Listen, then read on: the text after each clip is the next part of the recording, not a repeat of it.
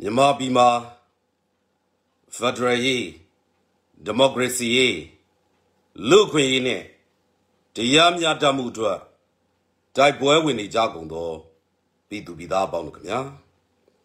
ကျွန်တော်မြို့ထိုက်တံသိမ်းပါကျွန်တော်တို့အခုဆိုရင်မြန်မာပြည်မှာကျွန်တော်တို့ရဲ့တော်လန်ရေးကြီးနဲ့တိုက်ပွဲတွေကနေရာတွေကိုအများကြီးအများကြီးအများကြီး ပုံမူကျပြန့်လာနေပါတယ်နောက်ဆုံးအနေနဲ့ကတော့ကျွန်တော်တို့အခုကရင်ဒေသမှာတိုက်ပွဲတွေပုံမူပြင်းထန်လာတယ်တိုက်ပွဲတွေပုံမူပြင်းထန်လာတဲ့အတွက်စစ်ပွဲတွေလည်းဖြစ်လာတယ်စစ်ရှောင်တွေလည်းကျွန်တော်တို့များလာပါတယ်ဆိုတော့စစ်ဆိုတာကလည်းကျွန်တော်တို့တနက်နဲ့ကြီးစံနဲ့တိုက်ရတာဖြစ်တဲ့အတွက်အလကားမရပါဘူးအဲ့ဒါကြောင့်မလို့ကျွန်တော်တို့ပြည်သူတရက်လုံးက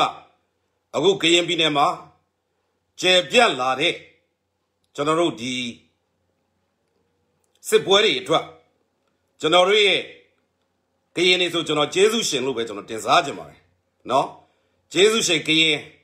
ညီနောင်တိုင်းရင်းသားတွေအတွက်လက်နက်ရိတ်ခါအတွက်ဝိုင်းပြီးတော့ပုံအောပြီးတော့လူဒန်းထောက်ပံ့ရမယ့်အချိန်ဖြစ်ပါတယ်ဒါကြောင့်မလို့ကျွန်တော်တို့ဒီကရင်တွေအတွက်လက်နက်ကင်တက်ဘောင်းစုံရှိပါတယ်အဲ့မှာ KNL ရှိတယ်နော်ဟိုဟာ KNDO ရှိတယ် PDF တွေရှိတယ်နော်သူတို့တွေကိုဝိုင်းပြီးတော့ကူညီပေးကြပါလို့ပထမဦးဆုံးကျွန်တော်မြစ်တာရက်ခံလိုပါတယ်ဒါအပြင်စစ်ခွေးတွေကသူတို့ကအခုရုပ်မာတယ်လीနော်ဆိုတော့ဘယ်လိုရုပ်မာလဲဆိုတော့သူတို့တိုက်ပွဲတွေမှာခွေးတွေဝက်တွေသေးတယ်ခွေးပြေးဝက်ပြေးပြေးရတယ်အဲ့တော့သူတို့ကပြည်သူတွေကိုသူတို့ကတိုက်ခိုက်တယ်ပြည်သူတွေကိုတိုက်ခိုက်တယ်ပြီးတော့ရွာတွေကိုမီးရှို့တယ် အခုဆိုရင်ကျွန်တော်ကြားတဲ့သတင်းတွေအရဆိုရင်ကရင်ပြည်နယ်မှာလည်းအဲ့လိုလုပ်နေတယ်ရွာတွေကိုမီးရှို့တယ်တတ်တယ်ပြည်သူတွေကိုတခါ KNI ပြည်နယ်ဘက်မှာလည်းအဲ့လိုလုပ်တယ်တခါမကွေးတိုင်းမှာလည်းရဟတ်ရင်တွေကိုလာပြစ်သွားတယ်ပြစ်ပြီးတော့ရွာထဲမှာရွာကိုမီးရှို့တဲ့အပြင်တော့ထိုင်ပြီးတော့တတ်တယ်ကျွန်တော်သတင်းထဲမှာတွေ့လိုက်တာအခုလောလောဆယ်အထိပြည်သူအလောင်း14လောင်းတွေ့တယ်လို့ပြောပါတယ် ဆိုတော့စစ်ခွေးတွေကအရန်ကိုရက်ဆက်ရုပ်မာတယ်ကန်းကုန်နေပြီဒါအပြင်မိုင်ဂျယ်ဂျာဝါကိုခွဲပလိုက်လို့ဆိုပြီးတော့အနီးတော့ရှိတဲ့ရွာသားတွေကိုလာပြစ်တတ်တယ်ဆိုတော့ဒါမျိုးတွေလည်းလုပ်နေတယ်ဆိုတော့စစ်ခွေးတွေကတော့သူတို့ကအာနာကိုဘယ်တော့မှလွယ်လွယ်နဲ့လက်လွတ်မှာမဟုတ်ဘူးအဖွားလူထုဒေါ်မာရဲ့စကားကိုငှားတော့ရမယ်ဆိုရင် အာနာရှင်တွေကဘယ်တော့မှအရှင်မထွက်ဘူးဆိုတော့ကျွန်တော်တို့ကဒီကောင်းလေးကိုရအောင်ခွေးမောင်းတို့လိုမောင်းထုတ်မှရမှာဖြစ်ပါတယ်ဒါလေးကိုလည်းကျွန်တော်တင်ပြခြင်းတယ်ဆိုတော့နောက်တစ်ချက်ကကျွန်တော်တို့အခုမြန်မာပြည်အနှံ့ကစစ်မျက်နှာတွေကိုကြည့်ကြည့်ပါမကွေးစကိုင်းချင်းပြည်နယ်ကချင်ပြည်နယ်ရှမ်းပြည်နယ်ကရင်နီ အခုကရင်နော်ဆိုတော့စစ်မျက်နှာတွေကနေရာတိုင်းမှာဖြစ်နေတယ်ဆိုတော့အေအေနဲ့ကရခိုင်ပြည်နယ်ဘက်မှာပေါ့နော်သူကတဲတဲလေးပဲသူတို့စိုင်ထားတာပေါ့နော်လောဆိုတော့သူတို့တွေကြည့်နေတဲ့သဘောရှိမယ်ဆိုတော့ဗမာနယ်တွေမှာလည်းဖြစ်တယ်နော်အားလုံးပဲဖြစ်နေဆိုတော့မြန်မာပြည်အနက်မှာဖြစ်နေဖြစ်နေဆိုတော့ကျွန်တော်တို့ပြည်သူတွေအထူးသဖြင့်ကျွန်တော်တို့မြေပြတ်ဒေသကပြည်သူတွေနော်ဗမာတွေပေါ့ကျွန်တော် နှိုးဆော်ကြပါတယ်ကျွန်တော်တို့အားလုံးအစင်သင်းရှိဖို့လိုတယ်ဒီတိုက်ပွဲတွေမြေပြတ်ဒေသကျွန်တော်တို့ရန်ကုန်မန္တလေးအပပဲနော်အချိန်မရွေးရောက်လာပါလိမ့်မယ်ဒါကျွန်တော်အတီလေးဒီမှာတင်ပြလို့ရပါတယ်နော်ဆိုတော့ဒီကရင်ပြည်နယ်ဂွင်ဆိုလို့ရှိရင်ကျွန်တော်တို့ဒီဘက်ပဲခူးပေါ့ဗျာဆက်နေတာနော်တခါဒီဘက်ကရင်နီဆိုလို့ရှိရင်နေပြည်တော်နဲ့ဆက်တယ်ဒီဘက်မကွေးစကိုင်းကမန္တလေးနဲ့ဆက်တယ်နော် ဆိုတော့မြန်မာတပီလုံးအနက်မှာဖြစ်မှာဖြစ်ပါတယ်ဆိုတော့အခုဆိုရင်ဒီမှာအောက်မှာလည်းကျွန်တော်လာပြောထားတယ်နန်းကားရွာမှာမီးရှို့တယ်လေအနေနဲ့ပြစ်တယ်ဟုတ်တယ်လုတ်တယ်ဗျနော်မကွေးတိုင်းဂတ်ကောမှာနော်နန်းခါမှာရွာမှာအဲ့လိုမျိုးလုတ်တယ်ဆိုတော့ကကျွန်တော်တို့မြို့ပေါ်ကပြည်သူတွေနော်နိုးကြကြမယ်အချိန်ကိုရောက်ပြီနိုးထကြရမယ်ကျွန်တော်တို့တွေအစင်သစ်ပြင်ထားရမယ်ဆိုတော့ကျွန်တော်တို့ရှိမှာဘာရှိတယ်လဲရှိတာပေါ့ပထမဆုံးစိတ်ဓာတ်အဲ့စိတ်ဓာတ် စင်သစ်ကျွန်တော်တို့အစင်သစ်ပြင်ထားရမယ်ပြီးတော့ကျွန်တော်တို့ဘာရှိတယ်လဲရှိတာနဲ့ကျွန်တော်တို့နားမှာတိုက်ပွဲခေါ်တဲ့ကြားပြီဆိုတာနဲ့ကျွန်တော်တို့တွေကချက်ချင်းကိုဝင်ပါနိုင်မှုလိုပါတယ်ဆိုတော့တစ်ချိန်တည်းမှာကျွန်တော်တို့မျိုးပြတွေမှာဘာလုပ်လို့ရလဲနော်မျိုးပြပျောက်ကြားတွေကိုကူညီလို့ရတယ်ကူညီတယ်ဆိုတဲ့နေရာမှာငွေအားလူအားစိတ်ဓာတ်အားနဲ့ကူညီလို့ရတယ်ဆိုတော့ငွေအားဆိုရင်ကျွန်တော်တို့မျိုးပြပျောက်ကြားတပ်ဖွဲ့တွေအလူခံနေတာရှိတယ်ကူညီလို့ရတယ် လူအားနဲ့စိတ်သက်အားဆိုတာကနော်ကျွန်တော်တို့ကိုယ်တိုင်လှုပ်လို့ရရင်ကိုကိုယ်တိုင်ဒီလေညွတ်ပြပြောက်ကြပဲကိုကိုယ်တိုင်ဒီလေအရေးတော်ပုံတက်သားပဲနော်ဆိုတော့အဲ့ဒါကိုကျွန်တော်တို့ခံယူယုံကြည်ထားဖို့လိုတယ်ဆိုတော့တခုကပြီးခဲ့တဲ့ရက်ပိုင်းမှာတောင်းကလာမှာနော်ကျွန်တော်သတင်းတစ်ခုတက်လာတွေ့လိုက်တယ်အတိအကျကိုကျွန်တော်ပြန်ရှာလိုက်မယ်နော်ကျွန်တော်အခုရှာလိုက်မယ်ဆိုတော့ဘာဖြစ်လဲဆိုတော့တောင်းကလာမှာ မျိုးပြပျောက်ကြားတွေကเนาะ CCTV ကိုခြေမုံတဲ့နေရာမယ်เนาะခြေမုံတဲ့နေရာမှာအဲ့တောင်းကလာကเนาะခြေမုံတယ်ဆိုတာမျိုးပြပျောက်ကြားတွေကအဲ့ CCTV ကိုမီးရှို့တယ်ဆိုတော့အဓိကဗျာကျွန်တော်တို့လက်ထက်မှာဘာရှိတယ်လဲဆိုတော့မီးဆိုတာလဲသုံးတဲ့လက်နက်ပဲမီးရှို့တယ်ရှို့တော့ဘာလုပ်လဲဆိုတော့အဲ့ဒီတောင်းကလာရှိတဲ့နားကเนาะအဲ့နားကဟုတ်ပြီเนาะ ဆိုတော့73ရက်ကွက်နော်ဒေဝဒဟလန်းထိတ်ကာမတိုင်အနီး CCTV နှလုံးကိုနော်ဓာတ်တိုင်ကိုလူငယ်တချို့ကမီးရှို့ဖျက်ဆီးနေတဲ့အချိန်မှာအနီးနားမှာရှိတဲ့ထမင်းဆိုင်အတုပ်ဆိုင်ကွင်းရဆိုင်နော်သူတို့ကလူငယ်တချို့မီးရှို့နေကြောင်းအော်ဟစ်နှောက်ရှက်တယ်လို့ပြောတယ်ဆိုတော့အားလုံးပဲပြည်သူတွေမြို့ပြပျောက်ကြားတွေတောင်အုတ်ကလာ73ရက်ကွက် ဒေဝဒဟလန်ထိတ်ကကာမတိုင်အနီးမှာရှိတဲ့ထမင်းဆိုင်အတုပ်ဆိုင်ကွန်းရဆိုင်ကျွန်တော်ထပ်ပြီးတော့ကြေညာပေးပါမယ်တောင်ဥက္ကလာပါမြို့နယ်73ရက်ကွက်ဒေဝဒဟလန်ထိတ်ကာမတိုင်အနီးမှာရှိတဲ့ထမင်းဆိုင်အတုပ်ဆိုင်ကွန်းရဆိုင်သူတို့တွေကဒလန်ဒီလားဆိုတာကျွန်တော်တို့စောင့်ကြည့်ရမှာเนาะဘာကြောင့်လဲဆိုတော့ CCTV ဆိုတာကျွန်တော်တို့မျိုးပြပျောက်ကြားတွေကိုအန်ရဲ့အရန်ပေးတဲ့ရန်သူရဲ့လူသက်လက်နက်ပါ အဲ့ဒါကိုလူငယ်လေးတွေကသူတို့ကိုယ်တိုင်ပါဝင်ပြီးတော့နော်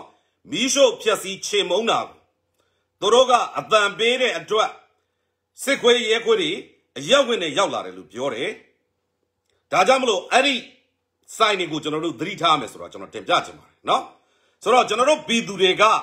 လက်တွေ့ပါဖို့လိုတယ်တစ်ချိန်တည်းမှာပဲခုနကရန်သူကိုကျွန်တော်တို့ကခြေမုံနိုင်ဖို့လိုတယ်နောက်တစ်ခု ကျွန်တော်တို့အထက်မှာ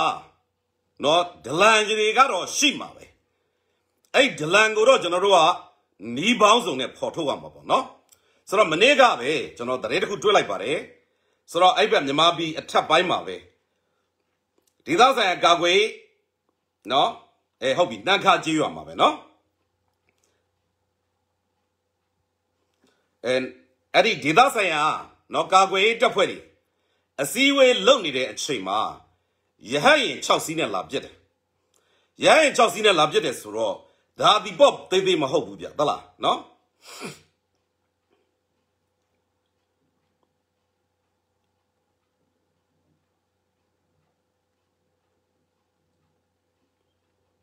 ကျွန်တော်အဲ့ဒါကိုတရင်ကုန်ပြန်ရှာနေတာပါနော်ဆိုတော့ရဟရင်6စီးနဲ့စက်တနက်ဒီနဲ့လာပြစ်တယ်နေရာအတိအကျကိုလာပြစ်တယ်ဆိုကြတဲ့က ဒါဒီဒလန်ရှိတာသိကြတယ်ဆိုတော့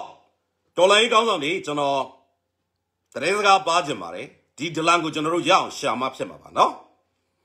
နမို့ဆိုကျွန်တော်တို့သမင်မွေးရင်ကြားဆိုင်ဖြစ်ပါလိမ့်မယ်ဒလန်ကိုတော့မိလို့ရှိရင်တော့ထုံးစံတိုင်းလားပင်စင်ပဲပေးလိုက်ပါဗျာနော်ကျွန်တော်တို့ကတိုက်ပွဲဖြစ်နေတာနော်လားပင်စင်ပေးသင့်ပါတယ်အဲ့ဒါကတော့ဆိုတော့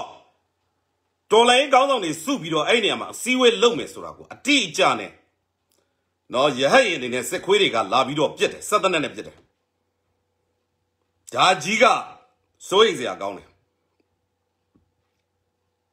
ဆိုတော့ကျွန်တော်တစ်ချက်တည်းကျွန်တော်တင်ပြချင်တာကနော်ကျွန်တော်တို့တွေရန်သူကလေချောင်းကိုတိုက်ခိုက်မှုကိုအခုကအဓိကယူမယ်နော်ဆိုတော့ အဲ့ဒီလေချောင်းကိုကျွန်တော်တို့ကချိန်မုံနိုင်ဖို့လိုတယ်နှိတ်ကွနိုင်ဖို့လိုတယ်ဆိုတော့ကျွန်တော်တင်ပြခြင်းပါတယ်နော်တော်တော်ရေးခေါင်းဆောင်နေဒေသဆိုင်ရာကာကွယ်ရေးတပ်ဖွဲ့ခေါင်းဆောင်နေကျွန်တော်တို့ဒီအရှိလေပိုင်းဒေသပေါ့ဗျာနော်အဲ့ဒီဒေသတွေမှာဒီမှာဟိုအမေရိကန်ဖြစ်ဖြစ်ရုရှားဖြစ်ဖြစ်နော်ရဟရင်အနေနဲ့လာတယ်တခါလေးမြန်နေနဲ့ဘုံလာကျဲလေးရှိတယ်ဆိုတော့အဲ့အရှိလေပိုင်းဒေသက နော်ပျောက်ကြားတွေကနော်ပျောက်ကြားတွေကသူတို့ကဘာလုပ်လဲဆိုတော့ချိန်မုံနေသူတို့ချိန်မုံတဲ့နီးကအဖိုးနဲ့ဝင်ပါနီးအိမ်ထဲမှာရှိတဲ့ပစ္စည်းနဲ့လုပ်လို့ရတယ်ဆိုတော့ပထမအဆုံးကျွန်တော်တို့နှစ်ပိုင်းမှာခွဲပြောမယ်ပထမပိုင်းကရဟရင်ကိုဘယ်လိုချိန်မုံမလဲဒုတိယပိုင်းကလေရင်ကိုဘယ်လိုချိန်မုံမလဲပေါ့နော်ဆိုတော့မနေ့ကလူနော်ရန်သူကစသနဲ့နဲ့လာပြစ်တယ်ရဟရင်6စီးနဲ့လာတယ် ဆိုကြတဲ့ကဒီကောင်နေစသနဲ့နဲ့ပြစ်မှာဖြစ်တဲ့အတွက်ဒီကောင်တွေကအနှိမ့်ပြန်ရမှာနော်ဆိုတော့ဟိုအရှိအလဲပိုင်းမှာသူတို့လုတ်တဲ့နီးကတော့သူတို့ဒီအဝိစတွေပေါ့ဗျာနော်အဝိစတွေကိုချထားတယ်မြေပြင်ပေါ်မှာချထားတယ်ဖြတ်ထားတယ်ရဲရင်ကလာတဲ့အချိန်မှာနော်ဒီဟာတွေကိုသူတို့ကလေကဒီလိုဝေးတဲ့အခါမှာရဲရင်ရဲ့ပန်ကမှာသွားပတ်တယ်သွားပတ်တော့ပန်ကာကိုသွားပတ်ပြီးပြီးတော့ရဲရင်ပြတ်ကြတယ်အဲ့ဒါတနည်း တချို့ကကြတော့ဘာလုပ်လဲဆိုတော့အဲ့ဒီအောက်မှာကျွန်တော်တို့ဒီဟိုတောင်ကြီးတစ်စောင်းနိုင်လေမိဘုံပြန်ပွဲလောက်တဲ့အချိန်မှာသုံးတဲ့မိဘုံပြန်တွေဖွက်ထားပြီးတော့လွတ်တင်တယ်။ဒါဒါမျိုးတွေလည်းလွတ်တယ်။ဆိုလိုချင်တာကဗျာမိုးပေါ်ကိုနည်းနည်းခက်မြင့်မြင့်လေးနော်ပလတ်စတစ်ဖြစ်ဖြစ်စောင်ဖြစ်ဖြစ်အဝတ်စားဖြစ်ဖြစ်ပြန်တက်သွားအောင်လေဟုန်နဲ့ပြန်တက်သွားအောင်လုပ်နိုင်မယ်ဆိုရင်ရန်သူရဲ့ရဟတ်ရင်တွေကတော့ပန်ကာနဲ့လေတဲ့အခါမှာအဲ့ဒီလေအဟုန်ကမြေပြင်ကိုရိုက်ပါတယ်။ မြေပြင်ကိုရိုက်တဲ့အခါမှာအဲ့ဒီမြေပြင်နားမှာရှိတဲ့ပစ္စည်းတွေကပေါ်ကိုပြန်တက်တယ်နော်။ဆိုတော့အဲ့လိုခွေးတွေဟုတ်တယ်ခွေးတွေကိုရရင်နဲ့လာချတယ်အဲ့လိုအချိန်မျိုးဆိုသိတ်ကောင်းတာပဲသူတို့ကမြေပြင်အနှိမ့်ကိုလာချတာလာချတဲ့အခါကျတော့ကျွန်တော်တို့ဟိုလက်တွေ့ပေါ့ဗျာနော်စမ်းကြည့်ပါဒါကဟိုကျွန်တော်တို့မြန်မာပြည်မှာမသုံးဘူးသေးဘူးနဲ့တူပါတယ်စမ်းကြည့်ပါစမ်းကြည့်လို့အသုံးဝင်တယ်ဆိုကျွန်တော်တို့ဒေါ်လာရေးအတွက်အောင်ပွဲပါဗျာနော်တခါတည်းကြရင်တော့ theory နဲ့လက်တွေ့နဲ့ကတော့ကွာတတ်ပါတယ် ဆိုတော့ကျွန်တော်အနေနဲ့ကဒါကြီးကလက်တွေ့အလုပ်ဖြစ်ဤမဖြစ်ဤကျွန်တော်အနေနဲ့မသိဘူးသို့တော့အရှိအလဲပိုင်းမှာအဲ့လိုသုံးတဲ့နည်းတွေလောက်ကြတယ်နော်အဲ့ဒါတနည်းပေါ့ဆိုတော့အဲ့ဒါကကိုလဲစောင့်နေစရာမလိုဘူးနော်ကိုလဲစောင့်နေစရာမလိုဘူးမလိုဘဲနဲ့ရန်သူကိုတိုက်ခိုက်တဲ့နည်းဆိုလိုချင်တာဗျာရန်သူကရဟရင်ဆင်းလို့ရနိုင်မဲ့အနေအထားတွေဆိုရင်ကိုကဖြစ်နိုင်အဲ့နားမှာဗျာပလတ်စတစ်တွေမိုးကားတွေစောင်တွေအဝတ်စတွေသွားပြီးတော့ဖွက်ပြီးတော့ချထားတဲ့နီးပေါ့ဗျာနော် ဆိုတော့အဲ့လိုနီးအားဖြင့်ရန်သူကမထင်မှတ်ဖဲနဲ့သူ့ရဟရင်ပန်ကဒလတ်တွေကိုနော်သွားပြီးတော့ထိလို့ရှင်ရရင်ပြတ်ကြမယ်ပြတ်ကြရင်ရရင်ပြတ်ကြတယ်လို့စက်ခွေးတွေလည်းသိမယ်ဒါကျွန်တော်တို့သီးစားလို့ရတယ်နောက်တနည်းကသူတို့ကလေမြန်နဲ့ဘုံကျဲဖို့လာမယ်နော်ဂျက်လေနဲ့အဲ့လိုနီးကိုတောင်မှာနော်ကျွန်တော်တို့စီးရီးယားတို့နော်နပါလက်စတိုင်းတို့ဒေသတွေမှာသူတို့ဘာလုပ်လဲဆိုတော့ရရင်အဲ့ဒီ လေမြန်နဲ့လာတဲ့ဘုံကျဲတဲ့ဟာတွေကိုဒီလိုမီးဘုံပြန်သသိလေးတွေကိုတပြိုင်နဲ့လွတ်တင်ပလိုက်တာလွတ်တင်ပလိုက်တော့အန်နီဟောင်းမော့နော်ဆိုတော့ဟိုကောင်ကလည်းလာတာအမြန်နဲ့လာတာပဲကိုကလည်းကောင်းကင်ဘုံမှာဒါတွေကိုအများကြီးတင်ထားတယ်တင်ထားတဲ့အခါကျတော့ဘာဖြစ်လဲဆိုတော့မြင်ကွင်းမရှင်းဘူးမြင်ကွင်းမရှင်းတော့သူတို့ပြတ်ကြဖို့လိုတယ်လေမြန်ဆိုတာကအတိတ်ဆောက်လို့မခံဘူးဆိုတော့ဒါကိုကကျွန်တော်တို့စဉ်းစားလို့ရမယ်အိမ်တွင်းလုတ်တဲ့နီးတွေပါအဖိုးတဲဝင်အဖိုးနဲ့ဝင်ပါနီးတွေပါ တကယ်လို့စမ်းသပ်ကြည့်လို့နော်90ရာခိုင်နှုန်းလောက်ထိရောက်တယ်ဆိုရင်တော့သုံးပြောပါတယ်နော်ဆိုတော့ဒါလေးကိုကျွန်တော်တင်ပြခြင်းပါတယ်နော်ဆိုတော့အဲ့လိုနီးတွေကိုကျွန်တော်တို့စမ်းသပ်ကြည့်လို့အောင်မြင်ပြီဆိုရင်ရန်သူရဲ့လေချောင်းကိုကျွန်တော်တို့ထိန်းလို့ရမယ်တစ်ဖက်မှာလေနော်ကျွန်တော်တို့တွေအခုရန်သူရဲ့လေရင်ကွင်းတွေကလေရင်တက်လို့မရအောင်နော်ပြေးလန်းနေဖြတ်တာတို့နော်လေရင်ကွင်းတွေစီးတာတို့ဒါမျိုးတွေက အချိန်တိုင်းတာတစ်ခုကြာရင်ဖြစ်လာပါလိမ့်မယ်အဲ့ဒါသိကြပါတယ်ခြံတောင်စုပူကောင်းတယ်တဲ့ဟုတ်ကဲ့ဗျမှန်တယ်ဗျစမ်းကြည့်ဖို့လိုပါတယ်လောက်ကြည့်ပါဗျနော်ဖြစ်နိုင်ဗျအဲ့ခြံတောင်လိုဟာမျိုးပါဗျကျွန်တော်တို့ဟိုဟာပေါ့ဟိုဘုံလိုဟာမျိုးပါထည့်ပေးလိုက်ရင်ဘုံမှာတစ်ခါတည်းကွဲတယ်ကျွန်တော်ဆုလို့ကျင်တာလीနော်ဆိုတော့ခုနဟိုလေရင်ကွင်းတွေပါတယ်ပေါ့အချိန်တိုင်းတာတစ်ခုမှဖြစ်လာပါလိမ့်မယ်နောက် ရန်ကုန်နဲ့မန္တလေးတကယ်မြို့ကြီးနှစ်ခုပေါ့ဗျာနော်ဘယ်တော့မှမြို့ပြပျောက်ကြားတွေကသွေးအေးသွားမှာမဟုတ်ဘူးလှုပ်เสียရှိတာကိုလှုပ်နေတယ်သို့တော့ခြေတံလုံလုံနဲ့လှုပ်နေတဲ့အတွက် နော်ချက်ချင်းတော့သိရမှာမဟုတ်ဘူးကျွန်တော်အမြဲတမ်းတင်ပြနေတယ်လို့ပဲနော်ကျွန်တော်အမြဲတမ်းတင်ပြနေတယ်လို့ပဲတခါတည်းကြရင်တည်င်းဖြစ်က9မိနစ်လောက်ပဲကြာတယ်ဖတ်ရတာဒါပေမဲ့အဲ့ဒါအတွက်ကိုပြင်ဆင်ရတာဒီသည်နော် ဟိုနှစ်ပတ်လဲကြာရင်ကြာတယ်တစ်လလဲကြာရင်ကြာတယ်တခါကျ3လလောက်လဲကြာရင်ကြာတယ်ဘာလို့လဲစိတ်ရင်းပြင်ဆင်မှုဖြစ်တဲ့အတွက်ကိုရှင်သူတည်တိုက်ရမှာဖြစ်တယ်နော်ဆိုတော့ကျွန်တော်တို့အခုလောလောဆယ်ဒီမြန်မာပြည်ဒီအရှေ့တောင်ပိုင်းပေါ့နော်ကျွန်တော်တို့ကရင်ခွင်မှာတိုက်ပွဲတွေကပိုကျယ်ပြန့်လာပြီနော်ကိုပို့ပြီးတော့ကျယ်ပြန့်လာတဲ့အတွက်ဒီကရင်တော်လှန်ရေးသူရဲကောင်းတွေကျွန်တော်တို့ရဲ့ဂျေဇုရှင်တွေကျွန်တော်တို့မိဘပြည်သူတရက်လုံးက အထူးသဖြင့်ကျွန်တော်ဗမာတွေကိုပို့ပြီးနှိုးဆော်ကြပါတယ်ဗမာလူထုတရက်လုံးကနော်တကဘာလုံးမှာရှိတဲ့ဗမာတွေကောမြန်မာပြည်တွင်းကဗမာတွေကောအားလုံးပါပဲကျွန်တော်တိုင်းရသားလူမျိုးပေါင်းစုမှာနော်ကျွန်တော်တို့ကရင်တော်လှန်ရေးသူရဲကောင်းတွေအတွက်ကိုဝိုင်းပြီးတော့ငွေအားလူအားလက်နက်အားနဲ့ကူညီပေးကြပါလို့ကျွန်တော်တင်ပြချင်ပါတယ်နောက်တစ်ခုကနော်အခုအခုကျွန်တော်တို့တောင်ပိုင်းမှာအရှက်တောင်ပိုင်းမှာ တိုက်ပွဲတွေဖြစ်နေပြီဆိုတော့နော်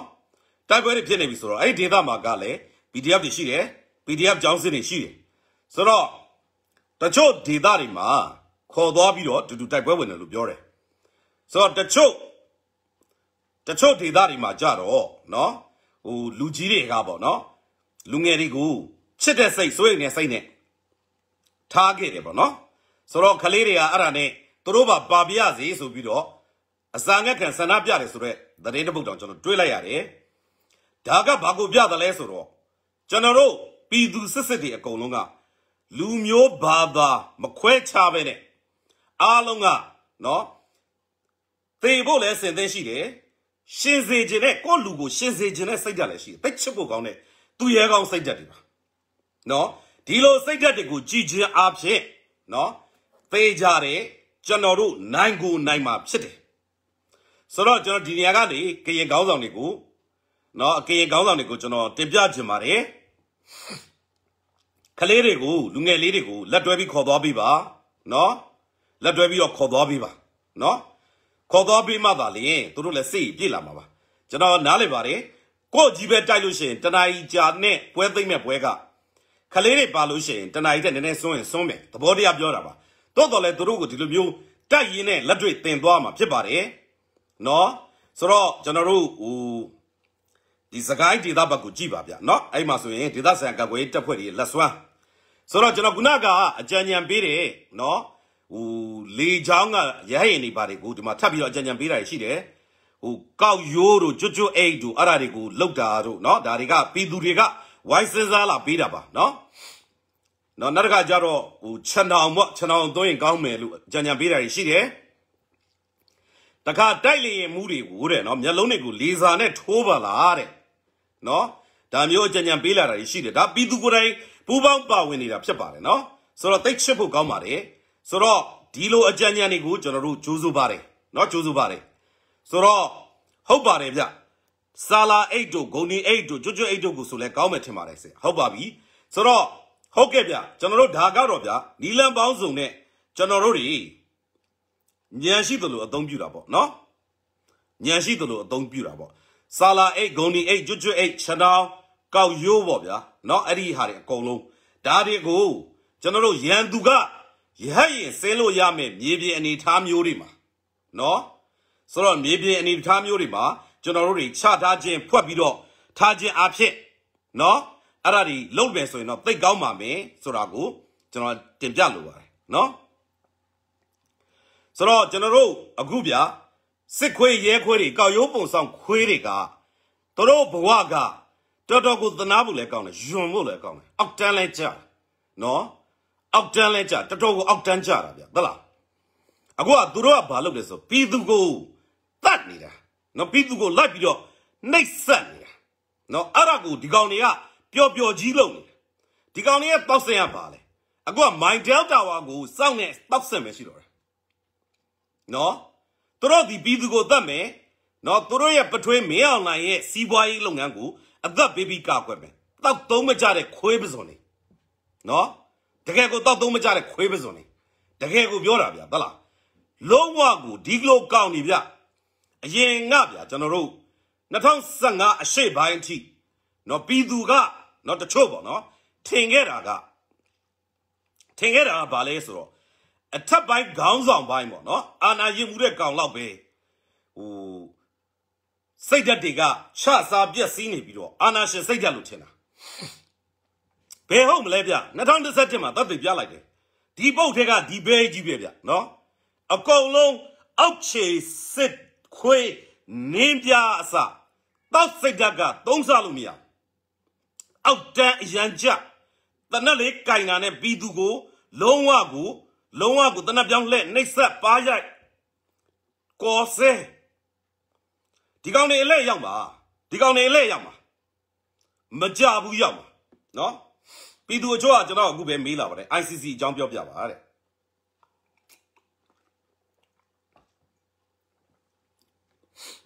ဆိုတော့ပထမဆုံးပြနော် ICC နဲ့ ICJ ပေါ့နှစ်ခုရှိတယ် ICJ ဆိုတာကတော့အဘိဘိဆိုင်ရာတရားရုံးလို့ခေါ်ပါတယ်ဆိုတော့အဘိဘိဆိုင်ရာတရားရုံးကဘလို့ပြဿနာတွေကိုဖြေရှင်းရလဲဆိုတော့နိုင်ငံအချင်းချင်းဖြစ်တဲ့ပြဿနာတွေကိုဖြေရှင်းရတယ်ဒါကြောင့်မလို့အမေစုလက်ထက်မှာနော်ဂမ်ဘီယာနိုင်ငံကမြန်မာနိုင်ငံကိုတရားစွဲတယ်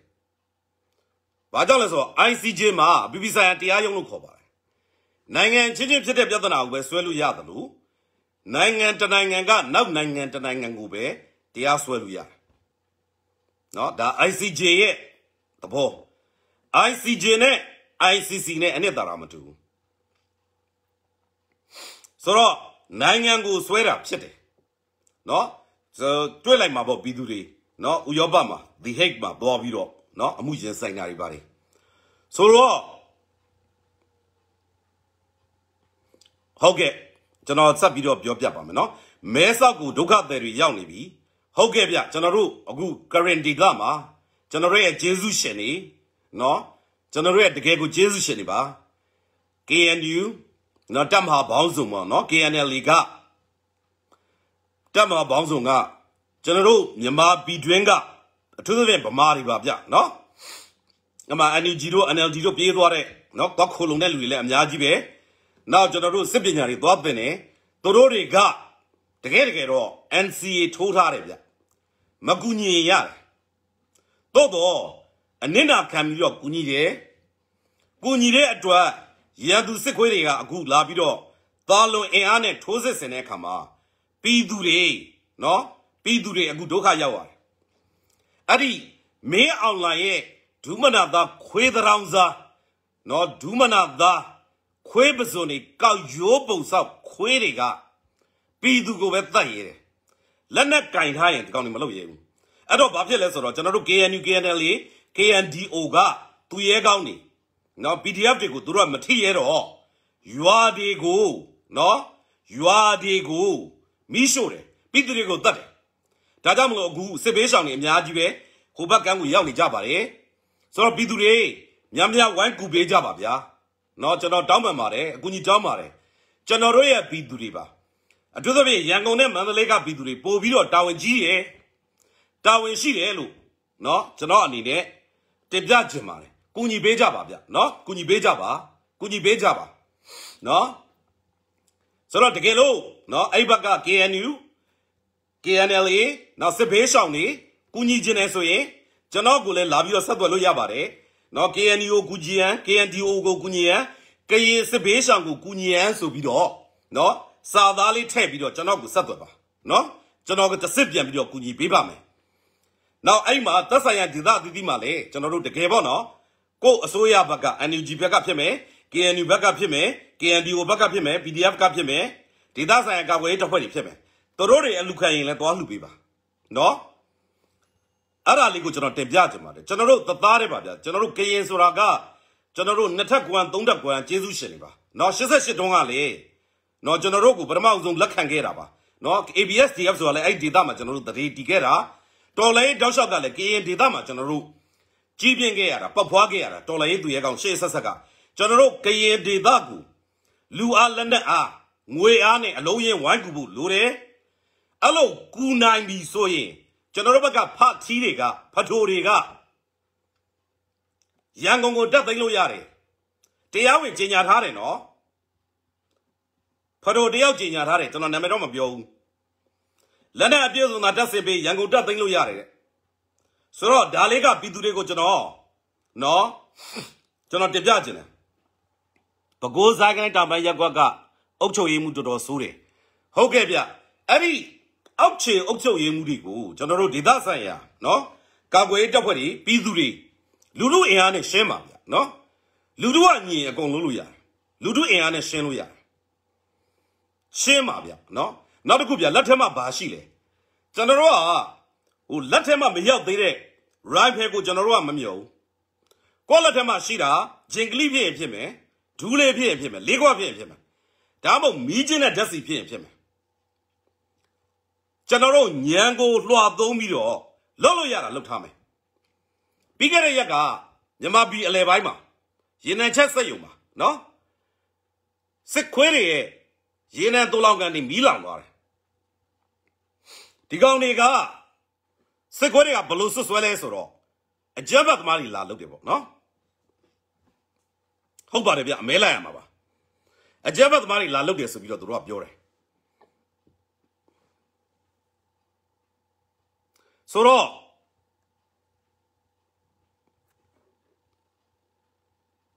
ဆိုတော့ဘယ်လိုဖြစ်လဲဆိုတော့အဲ့ဒီမှာသူတို့ရဲ့ရေနံလောင်ကန်နေမိလောင်သွားတာဂါလန်မောင်းများစွာတိတ်ချိန်နှပ်ဖို့ကောင်းတယ်ဘလို့နီးနဲ့လောက်လိုက်လေမိကိုပဲတုံချလိုက်တယ်ဆိုတော့ကျွန်တော်တို့ပြည်သူအယောက်ချင်းစီတိုင်းကနော်ကိုယ့်လက်ထက်မှာရှိတဲ့ဟာနဲ့ကိုယ့်ဘာကူတာဝန်ကျေဖို့ပဲလိုပါတယ်နော်ဆိုတော့အခု ကချင်ဒေသကိုစစ်ခွေးတွေတွားတယ်ခွေးတွေဝတ်တွေတည်တယ်ကိုကန်ဒေသကိုသွားတယ်ခွဲသေးဝတ်သိသေးတယ်ကရနီဒေသကိုသွားတယ်ခွဲသေးဝတ်သိသေးတယ်ချင်းဒေသသွားတယ်ခွဲသေးဝတ်သိသေးတယ်စကိုင်းသွားတယ်မကွေးသွားတယ်ခွဲသေးဝတ်သိသေးတယ်အခုကရင်ဒေသကိုသွားတယ်ခွဲသေးဝတ်သိသေးတယ်ခွဲပြေးဝတ်ပြေးပြေးရတယ် ကျွန်တော်တွေးလိုက်ပါတယ်ဓာတ်ပုံ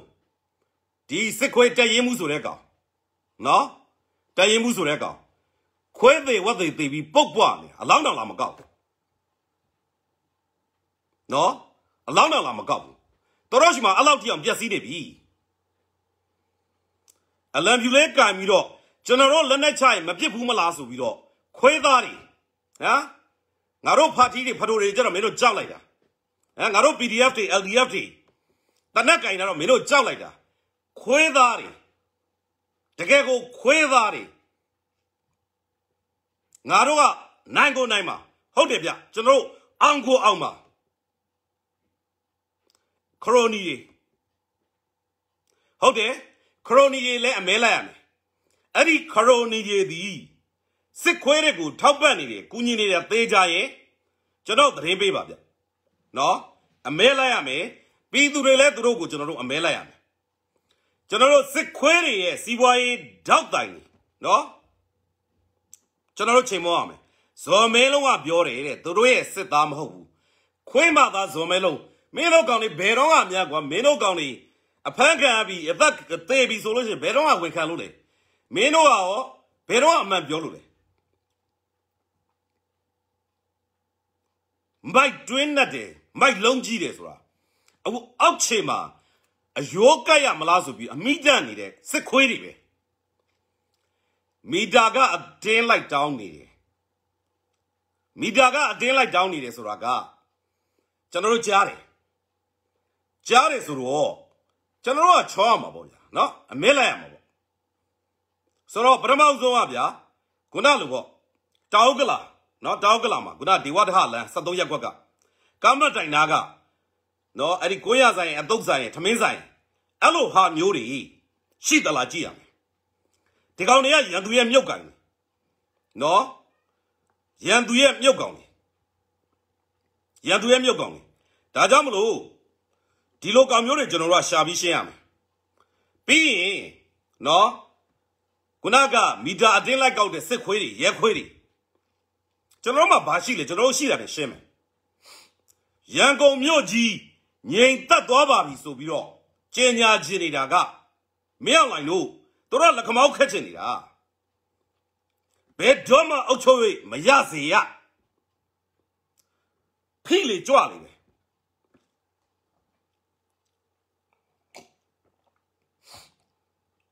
မင်းအောင်လိုက်လို့နော်ခွေးမသားတွေသူ့လူတွေခွေးသိဝတ်သိသေးခွေးပြစ်ဝတ်ပြေးပြေးတဲ့အခါကျတော့ဘာလို့လဲရေရရချေတယ်နော် ရေရရချေတယ်ဟိုတမတ်စတဲ့အင်းတိုင်ထဲမှာရှိတဲ့ရှေးအောင်ဖျားပေါ့နော်တွားချေတယ်အဲ့ခွေးမသားမင်းအောင်လိုက်မင်းမသိတာလေဟဲ့အောင်ငါပြောမယ်မင်းအဲ့ယူလာမယ်ဆိုတာငါတပတ်လောက်ကြူသိနေသိလားကြိုသိနေတယ်ဒီတစ်ချိန်မင်းတို့ကောင်နေကန်ကောင်းသွားတယ်ကွာသလားကန်ကောင်းသွားတယ်မင်းတို့အဲ့ဒီတမတ်စတဲ့နေမည်ဆိုတာက ကျွန်တော်နည်းနည်းလေးတင်ပြတယ်အဲ့ဒါကကျွန်တော်တို့ရဲ့မိဘကျွန်တော်ဖေဖေနဲ့မမေရဲ့နော်ခြံနေအဲ့နားမှာရှိတယ်နော်ကျွန်တော်တို့ရဲ့မိတ်ဆွေအတိုင်းဝိုင်းနေအဲ့အခုလက်ရှိတမတ်စတဲ့ဖွဲ့ထားတဲ့နေရာသည်အဲ့ဒါကျွန်တော်တို့ခြံနေကို1988အရေးတော်ပုံကြီးပြီးတဲ့အခါမှာတမတ်စတဲ့ကိုဖွဲ့ဖို့ဆိုပြီးတော့တနက်နဲ့ထောက်ပြီးတော့ဒီလိုလာထောက်ပြီးတော့တိမ့်ပလိုက်တာရော်ကြီးတော့မပြီးဘူး မရိုင်းတာအဲ့ဒီအချိန်တော့ကခင်မောင်တန်းဒုဗိုလ်မှူးကြီးအဆင့်မှာပဲရှိသေးတယ်နော်နောက်ဝင်းမြင့်ဗိုလ်မှူးကြီးအဆင့်ပဲရှိသေးတယ်အဲ့ကောင်လေးတိမ့်သွားတာအဲ့ဒါကျွန်တော်တို့ရဲ့ခြံနေရာတွေကျွန်တော်တို့ရာဘာတွေစိုက်တယ်တပြေတွေစိုက်တယ်အဲ့ဒါကျွန်တော်မိဘတွေကကျွန်တော်ဖေဖေနဲ့မမေကဥယျာဉ်ချမ်းမြေစိုက်ပြောရတာကျွန်တော်တို့ကဝါသနာပါတယ်ပင်စင်ယူရင်အဲ့ဒီမှာ ခြံလေးစိုက်စားမယ်ဆိုတဲ့ဟာကိုစစ်ခွဲတွေကအဲ့ဒီတမ္ပစတဲ့နေကအဲ့ဒါကျွန်တော်တို့ရဲ့ဟာတွေကိုတိမ့်သွားတာမိုးဟင်းလေမိုးဟင်းကဗျာဒီကောင်ပေါက်လက်ဘဲစားတွေပြောနေတာကျွန်တော်ဒီကောင်ဟာတွေကြည့်တော့မကြည့်တော့တခါတည်းသူများပို့ပေးလို့နည်းနည်းကြည့်လိုက်တယ်ဗျနော်ပို့ပေးတယ်တော့ကြည့်လိုက်တာမိုးဟင်းကဗျာပေါက်လက်ဘဲစားဗျဒီကောင်ကဗျာအဆင့်မှမရှိတာကျွန်တော်ဒီကောင်နာမည်တော့ထည့်မပြောချင်ဘူးဗျဟုတ်လား အဲနောက်900တန်ဆိုင်နေများလာတယ်ဟုတ်ကဲ့ဗျကျွန်တော်သတိပေးတာကျေးဇူးပါနော်အဲ့900တန်ဆိုင်နဲ့ပတ်သက်ပြီးတော့ကျွန်တော်တင်ပြချင်တာလေးရှိတယ်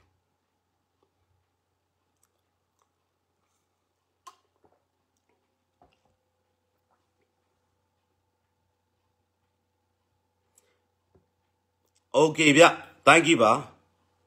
ဟုတ်ကဲ့ပါဗျဟုတ်ကဲ့ဗျဟုတ်ကဲ့ဗျဟုတ်ကဲ့ဗျ နောက်တစ်ခုနောက်ခုနကငါးတန်ထမင်းဆိုင်နေဆိုတော့ဒါကတပိုင်းကဘာလဲဆိုတော့တကယ်ကိုနော်ပြည်သူကပြည်သူကိုကူညီခြင်းနဲ့တကယ်စေတနာရှိတဲ့နော်ပြည်သူတွေတချို့လောက်တာလည်းရှိတယ်နောက်တချို့ကကြတော့နောက်တချို့ကကြတော့ဘာလဲဆိုတော့စစ်ခွဲတွေဘက်က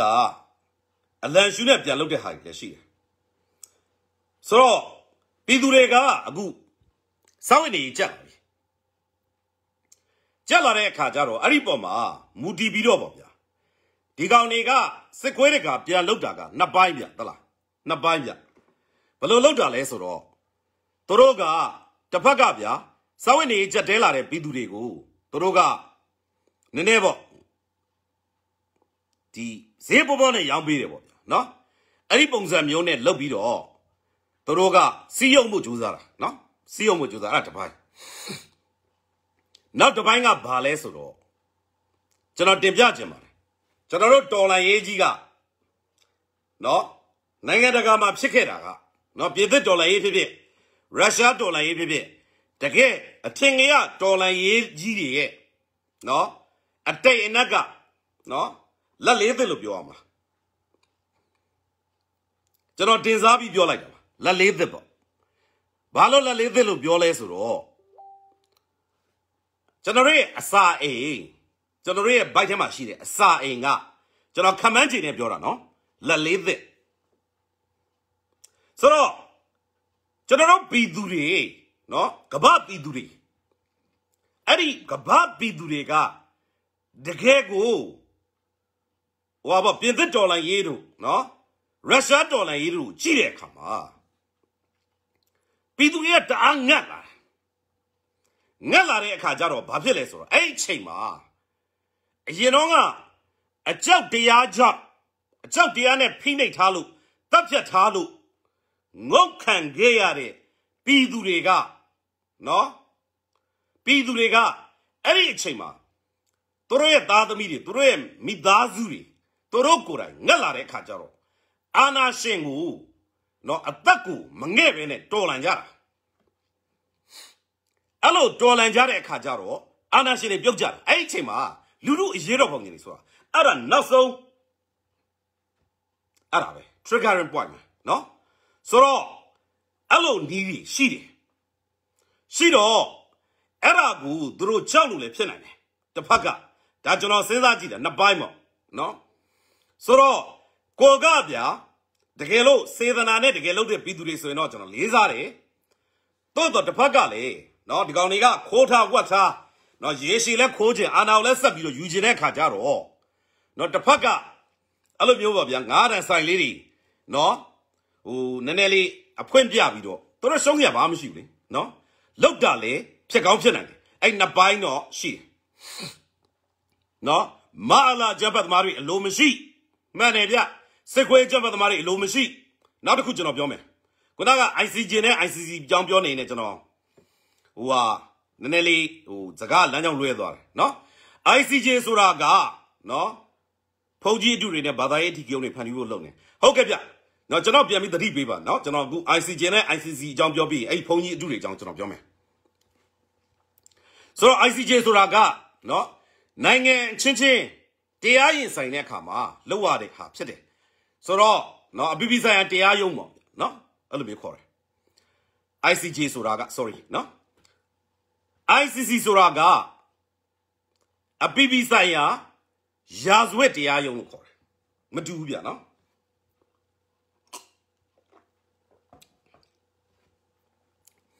ဆိုတော့အပြည်ပြည်ဆိုင်ရာရာဇဝတ်တရားရုံးက ICC ဆိုတော့အင်္ဂလိပ်လို့ဆိုရင်တော့ ဆိုတော့ International Criminal Court ပေါ့ဗျာနော် ICC လို့ခေါ်တယ်ဟို ICJ ကကြတော့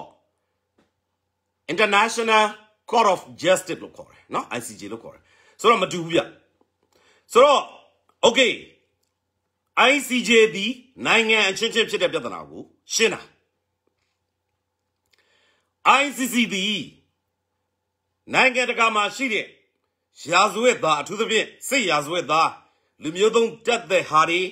အဲ့ဒါမျိုးတွေကိုတရားစွဲဆိုတဲ့နေရာကို ICC လို့ခေါ်တယ်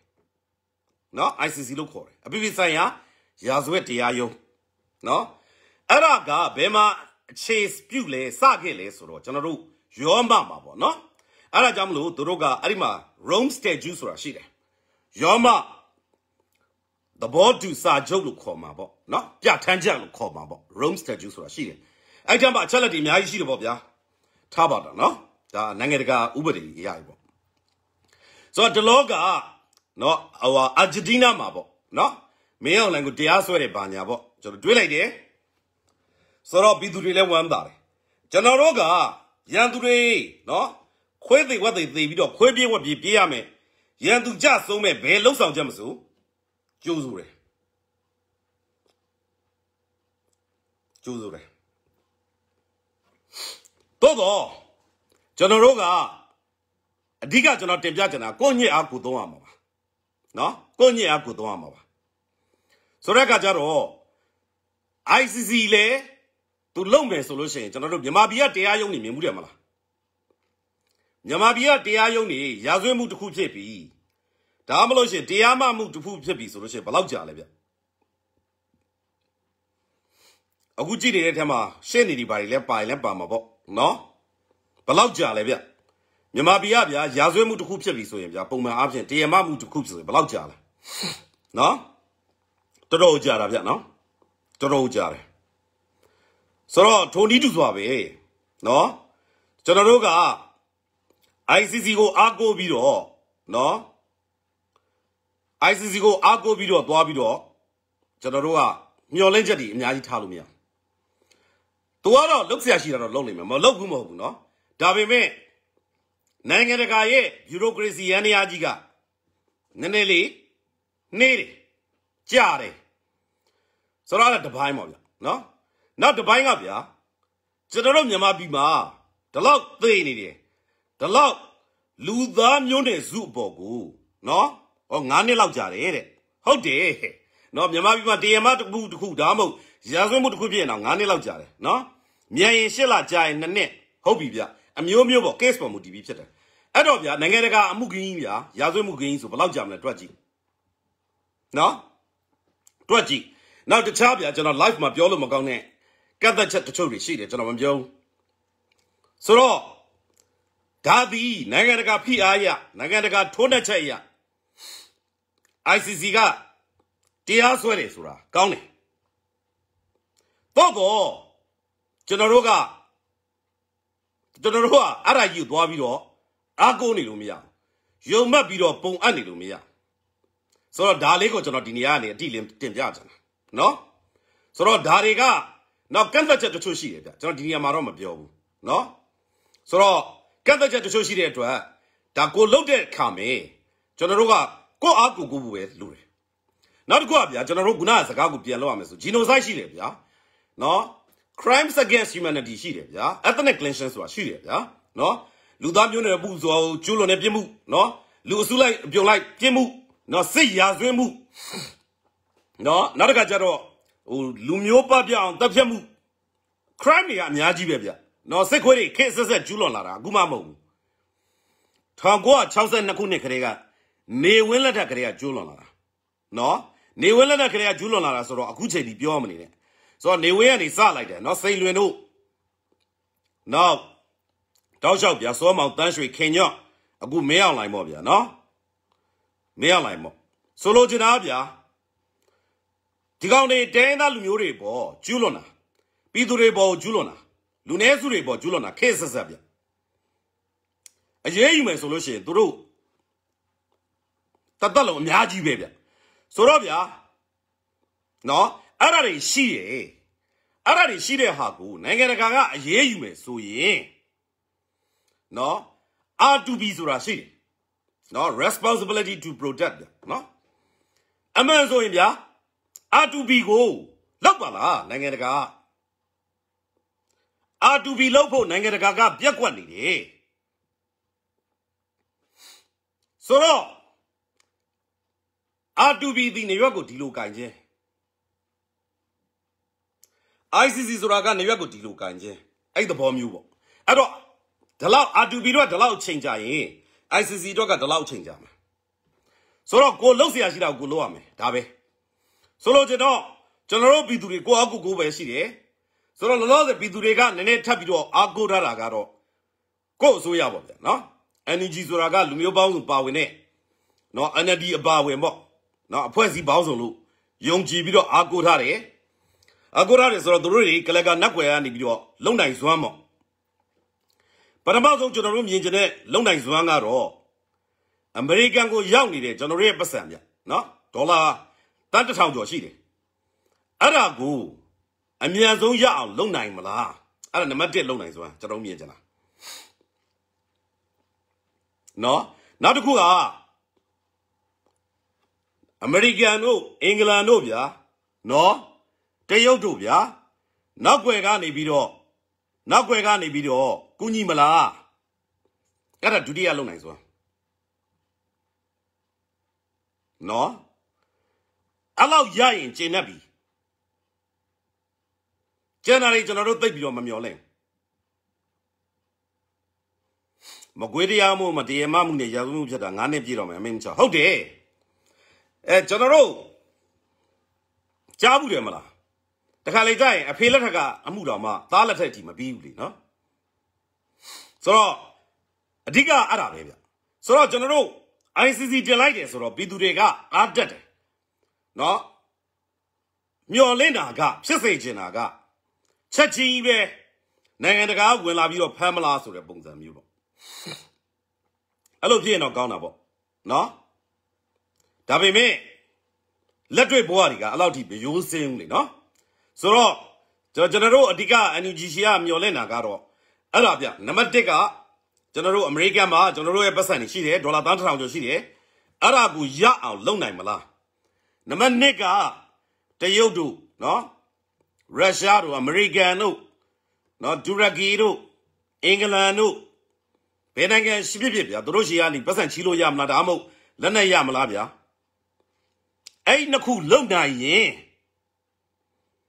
ကျွန်တော်တို့ဒေါ်လာရေးကအောင်ပြီဗျနော်ကျွန်တော်တို့ဒေါ်လာရေးမှာကလူအားရယ်ငွေအားရယ်လက်နက်အားရယ်လူတယ်လीနော်ဆိုတော့အခုကကျွန်တော်တို့ရှိမှာကလူအားရှိတယ်ဗျလူအားရှိတယ်နော်ငွေအားကတော့ဘီသူကထောက်ပံ့နေတာပေါ့လက်နက်ဆိုတာကပတ်စံရှိရင်လက်နက်ပဲဟုတ်တယ်ဟုတ်ဈေးကြီးပေးပြီးဝယ်လို့ရတယ်ဗျလက်နက်ပဲနော်ဆိုတော့က ခုနကပါကျွန်တော်တို့ဘီသူတွေနော်ကူတာလဲကူတာပေါ့တိုးတော့တိုးတော့တကယ်ကိုနိုင်ငံတကာကနေလက်လောက်လလာကူညီဖို့လိုတယ်နော်လက်လောက်လလာကူညီနိုင်ဖို့လိုတယ်ကျွန်တော်တို့ဗျာဒေါ်လာရေးပြီးသွားလို့ရှိရင်ကျွန်တော်တို့ပြန်ဆက်မယ်ဆိုတော့အဲ့ဒါကခုနက ICJ နဲ့ ICC နဲ့ကွာခြားမှုဆိုတော့ ICJ ဖြစ်ဖြစ် ICC ဖြစ်ဖြစ်နော်ကြားတယ်ဗျကြားတယ် နော်ကြားတယ်ကြားတယ်ဆိုတော့ကျွန်တော်တို့ကအဲ့လောက်မစောင့်နိုင်မစောင့်နိုင်ဆိုတော့စော်စရာရှိတာစော်ရမယ်ကစ်စရာရှိတာကစ်ရမယ်ဆိုတော့စစ်တောင်းမြစ်တရားကိုကူးလာရင်ဒီဘက်မှာပကိုးခွင်အဲ့ပကိုးခွင်ဆိုတာလေကရင်ခွင်ပဲဗျနော်ကရင်ခွင်ပကိုးဆိုတာရန်ကုန်နဲ့ကန့်တယ်နော်ဒီဘက်ကရင်ဒီခွင်နေပြည်တော်နဲ့ကန့်ဒီဘက်ချင်းစကိုင်းမကွေးဆိုလိုချင်တာကမြန်မာပြည်အနက်မှာနော် မြန်မာပြည်အနက်မှာမြန်မာပြည်အနက်မှာစစ်ခွဲတွေသူတို့တက်ကကွန်ပေါင်းကနေထွက်လိုက်တာ ਨੇ ရှေ့တန်းစစ်မြေပြင်ဖြစ်နေပြီဒီကောင်တွေလဲခွေးသေးဝက်သေးသေးပြီးတော့ခွေးပြေးဝက်ပြေးပြေးနေတာအော်ခုနကကျွန်တော်လာပြီးတော့ဟုတ်ပြီဖုန်ကြီးအတုတွေကိစ္စဟုတ်ကဲ့ဗျအဲ့ဒါအရန်စိုးရင်ဖို့ကောင်းပါတယ်နော်အဲ့ဒီဖုန်ကြီးအတုတွေကိစ္စကဒီမြန်မာပြည်အထက်ပိုင်းမှာအနောက်ပြပိုင်းမှာနော်အထူးသဖြင့်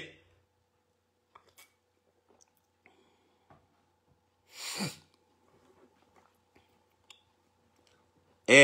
NUG ကာကွယ်ရေးရ KNU KNL KND ရောဘက်ကလက်နက်အမြတ်ကူညီဖို့လူနေပါတယ်တဲ့နော်ဟုတ်ကဲ့ပါကျေးဇူးတင်ပါတယ်ဗျဟုတ်ကဲ့ပါဆိုတော့ NUG ကခေါင်းဆောင်တွေနော်ကျွန်တော်တို့ဒီဘက် KNU ဘက်နော်တို့တို့လည်းလုံနေမယ်လို့ကျွန်တော်ယုံကြည်ပါတယ်လက်နက်အသေးအံလူနေပါတယ်တဲ့နော်အများကြီးဝိုင်းကူကြပါဆိုတော့ခုနကဘာသာရေးနဲ့ပတ်သက်ပြီးတော့တိုက်ခိုက်လာနိုင်စရာအကြောင်းတွေရှိတယ်အထူးသဖြင့်တော့ဗျာ နော်မြန်မာပြည်မှာလူအများစုကိုးကွယ်တဲ့ဗုဒ္ဓဘာသာကိုအသုံးချပြီးတော့လှုပ်လာနိုင်စရာတွေရှိတယ်ဆိုတော့မြန်မာပြည်အနောက်မြောက်ပိုင်းစကိုင်းဘက်နော်အဲ့ဘက်မှာနော်သင်ငန်းတွေလိုက်ဝယ်တယ်ဆိုတဲ့သတင်းကြားတယ်နော်ယောက်ျားလေးတွေဂရုံးအသက်တွေနဲ့ဆိုတာကိုကြားတယ်နောက်ရခိုင်ဒေသဘက်မှာလေနော်လူမျိုးရေးဘာသာရေးအထီးကယုံကိုမွေးဖို့ ကြိုးစားတယ်ဆိုတဲ့သတင်းကြားတယ်ဆိုတော့ဒါသည်စစ်ခွေးတွေအထူးသဖြင့်ထောက်လန်းရေးပါဗျာနော်စစ်ခွေးခင်ညွန့်တို့ဒါတို့သုံးနေကြအကွက်တွေပဲဖြစ်တဲ့အတွက်ဒါဘီသူကကျွန်တော်တို့ဒီတစ်ချိန်မှာတော့လုံးဝကိုကျွန်တော်တို့သူတို့ရဲ့အကွက်ထဲကိုမဝင်သွားဘူးเนาะအဲ့ဒါကိုကျွန်တော်တို့သတိရှိဖို့လိုပါတယ်เนาะဆိုတော့ဘီသူကအကုန်လုံးစော်ခြင်းတယ်ဗျဆိုတော့စော်ရမယ် နော်ကျွန်တော်တို့မြန်မာပြည်လွတ်လပ်ရေးအတွက်ပထမဆုံးလိုအပ်တာကမြန်မာတပီလုံးဓာန်ပေါက်ချက်တက်ရမယ်မြန်မာတပီလုံးဓာန်ပေါက်နဲ့နော်စစ်ခွေးကိုကိုက်ထုတ်ပြီးတော့သိမ့်မယ်ဆိုတော့ဓာန်ပေါက်ချက်နီးကလွယ်သလားခက်သလားမေးလွယ်တယ်လွတ်လွတ်လေးသို့တော့နည်းနည်းတော့သတိထားရတယ်ဘာကြောင့်လဲဆိုတော့ဓာန်ပေါက်ဖြစ်နေလို့နော် ပြည်သူအလုံးဓာန်ပေါက်ကိုချက်တက်ပြီဆိုရင်အရောက်ချင်းစီတိုင်းရဲ့အိမ်မှာဓာန်ပေါက်ကိုစီသာရှိပြီဆိုရင်ရက်ွက်ထဲမှာတန်ဖုံးတီးလို့လာဆဲတဲ့စစ်ခွေးတွေနော်ဓာန်ပေါက်ကျွေးပလိုက်လို့ရတယ်ကိုယ့်လက်ထဲမှာဓာန်ပေါက်ရှိပြီလေဗျာကျွေးလို့ရတယ်ဟုတ်ဟုတ်တယ်ဟုတ်ကျွန်တော်တို့မြန်မာတွေကျွေးတယ်ဟုတ်ကျွန်တော်ယုံပါတယ်လုတ်ရဲပါတယ်နော် လုတ်ရဲပါတယ်ဆိုတော့အဲ့ဒီသကိုင်းတိုင်းအတွက်လည်းလက်နက်တွေလူနေပါတယ်ဟုတ်ကဲ့ဗျလက်နက်တွေကိုကိုယ်တိုင်ထုတ်နေတဲ့ဒေသတွေလည်းရှိတယ်ဆိုတာကျွန်တော်တို့ကြားပါတယ်ဆိုတော့ကျွန်တော်တို့လိုအပ်တဲ့လက်နက်တွေ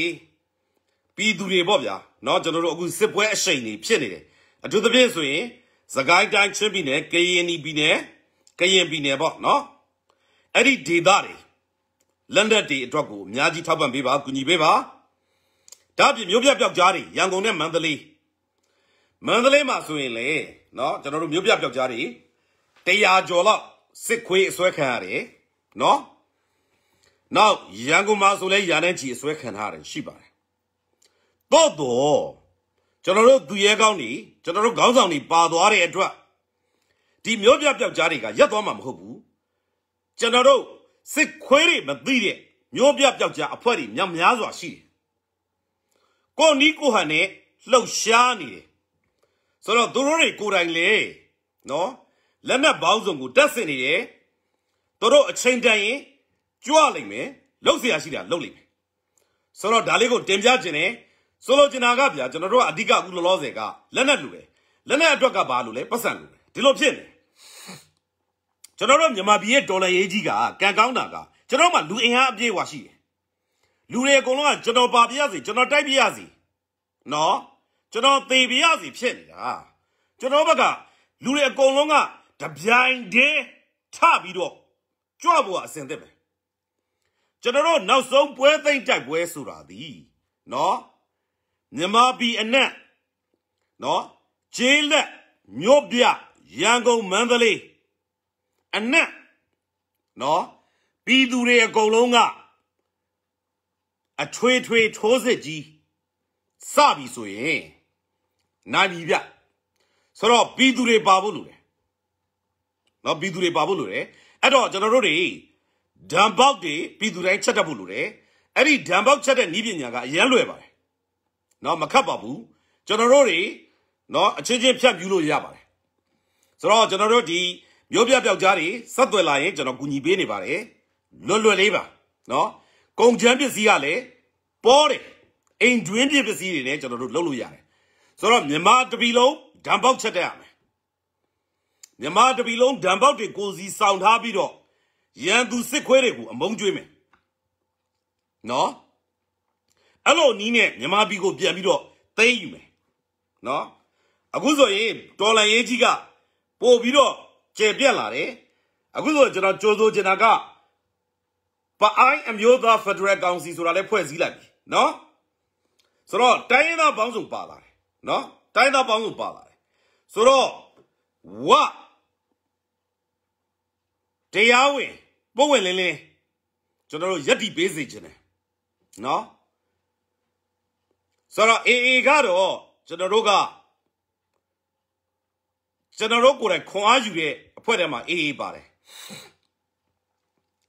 အေကောင်းဆောင်ကိုထွန်းမြင့်နိုင်ဆိုကျွန်တော်လည်းနည်းနည်းငယ်ပါတယ်နော်ကျွန်တော်သူ့လေးစားတယ်ဆိုတော့အေအေကလုတ်သွားတာလေးကအရင်သေတတ်တယ်ကျွန်တော်အေအေကိုကျွန်တော်လေ့လာတယ်အေအေရဲ့ခေါင်းဆောင်မှုအပိုင်းဒီမှာကျွန်တော်ပြန်ပြီးတော့လေ့လာပြီးတော့ခွန်အားယူရတာရှိတယ်ဆိုတော့ကျွန်တော်တို့ဒီဒေါ်လာရေးကြီးက လူမျိုးပေါင်းစုံဘာသာပေါင်းစုံဖြစ်နေတာဖြစ်တယ်ဆိုတော့ပါတီတစ်ခု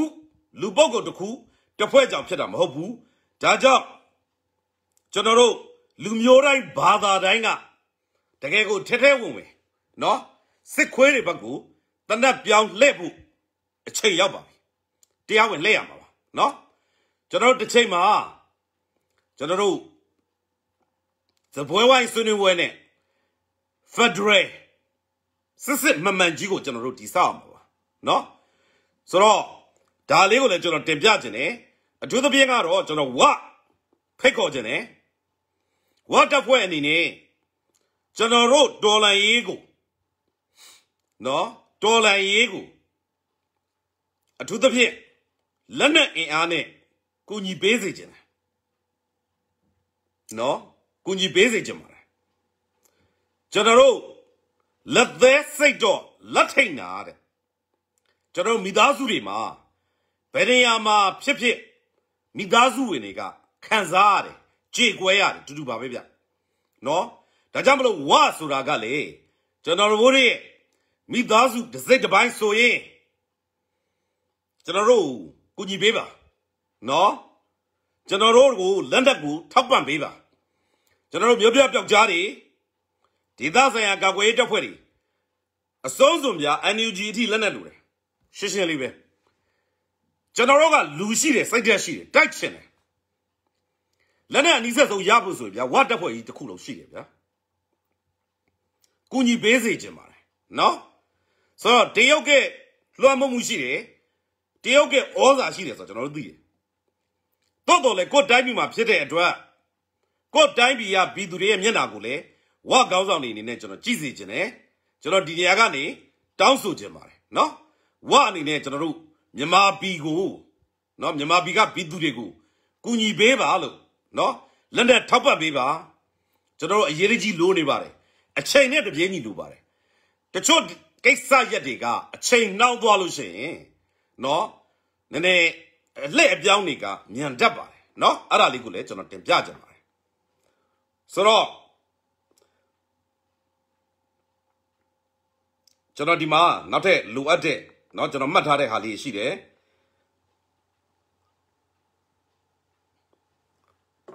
ဆိုတော့ကျွန်တော်တို့ပြည်သူတွေအနေနဲ့ကအစင်သင့်ပြင်ထားဖို့လိုတယ်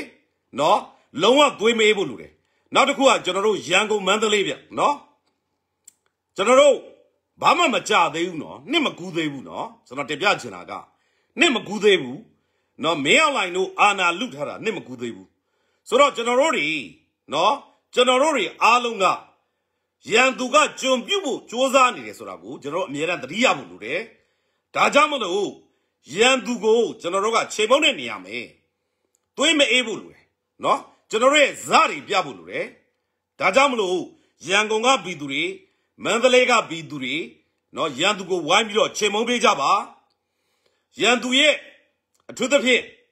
စီးပွားရေးပြစ်မှတ်တွေစီးပွားရေး ထွက်ကုန်တွေမဟာဗျူဟာမြောက်ပြစ်မှတ်တွေနော်ဥပမာဆိုဂေါ်ဇီလာချင်စေးတို့မိုက်ဒယ်တို့နော်နောက် red ruby တို့ဒါမျိုးတွေကစီးပွားရေးပြစ်မှတ်တွေနော်နောက်တစ်ခုစီပင်သားရနော်စီပင်သားရနောက်မီးရထားလန်းနော်နောက်ကြတော့တရားလူဟာမျိုးတွေကျွန်တော်စစ်ခွေးတွေဗျာလေမြန်ခွေးကနေတက်သွားလို့ရတဲ့အခြေအနေမျိုးမဖြစ်အောင်ကျွန်တော်တို့လှုပ်ဆောင်ကြရလိမ့်မယ် စစ်ခွေးတွေကားလိုင်းကနေကားမောင်းပြီးတော့တက်လာတဲ့အနေအထားမျိုးမဖြစ်အောင်ကျွန်တော်တို့လှုပ်ဆောင်ကြဖို့လိုပါတယ်နော်ဒါကိုကျွန်တော်တင်ပြချင်ပါတယ်နော်ဒါကြောင့်မလို့ပြည်သူတွေအနေနဲ့နီးပေါင်းစုံနဲ့ဝိုင်းဝန်းပြီးတော့ကူညီပေးကြပါလို့ကျွန်တော်တင်ပြချင်တယ်နော်ဆိုတော့ကျွန်တော်မနေ့ကတင်ပြထားသလိုကျွန်တော်ကဒီနေ့ဒီ live ကနေပြီးတော့ chat အနေကလည်းကျွန်တော်တို့ကျွန်တော်ဒီကနေဖြေချပေးမယ်ဆိုပြီးတော့ပြောထားတဲ့အတွက် ကျွန်တော်ဒီကနေ comment တွေရေးလာတဲ့အခါမှာလည်းကျွန်တော်လက်တွေ့အခုလောလောဆယ်ဖြေချပေးနေပါတယ်เนาะဖြေချပေးနေပါတယ်ဆိုတော့ comment တွေလာရေးပြီးတော့ကျွန်တော်ကိုမေးခွန်းတွေမေးလို့ရပါတယ် live chat ပါเนาะဆိုတော့ဒီနေ့ပြကျွန်တော်တကယ်အားရတာကတော့ဟိုတယ်တွေမှာတဲ့သူတို့ထုတ်ပစ္စည်းတွေမရောင်းသင့်ပါတဲ့ဟုတ်ကဲ့ဟိုတယ်ပိုင်ရှင်တွေဗျကိုပြည်သူတွေဘက်ကပြည်သူစစ်စစ်တွေဆိုရင်စစ်တပ်ထုတ်ကုန်တွေမရောင်းသင့်ပါဘူး စားတော့ဆိုင်တွေမှာမြန်မာဘီယာမတင်သင့်တော့ပါဘူးပရီမီယာဂိုးတို့ red ruby တို့မတင်သင့်တော့ပါဘူးနော်အဲ့ဒီကားတွေနဲ့ sale promotion တွေမလုပ်သင့်တော့ပါဘူးနော်နော်သူတို့နဲ့ပတ်သက်တာတွေမလုပ်သင့်တော့ပါဘူးဒါလေးကိုကျွန်တော်တင်ပြချင်တယ်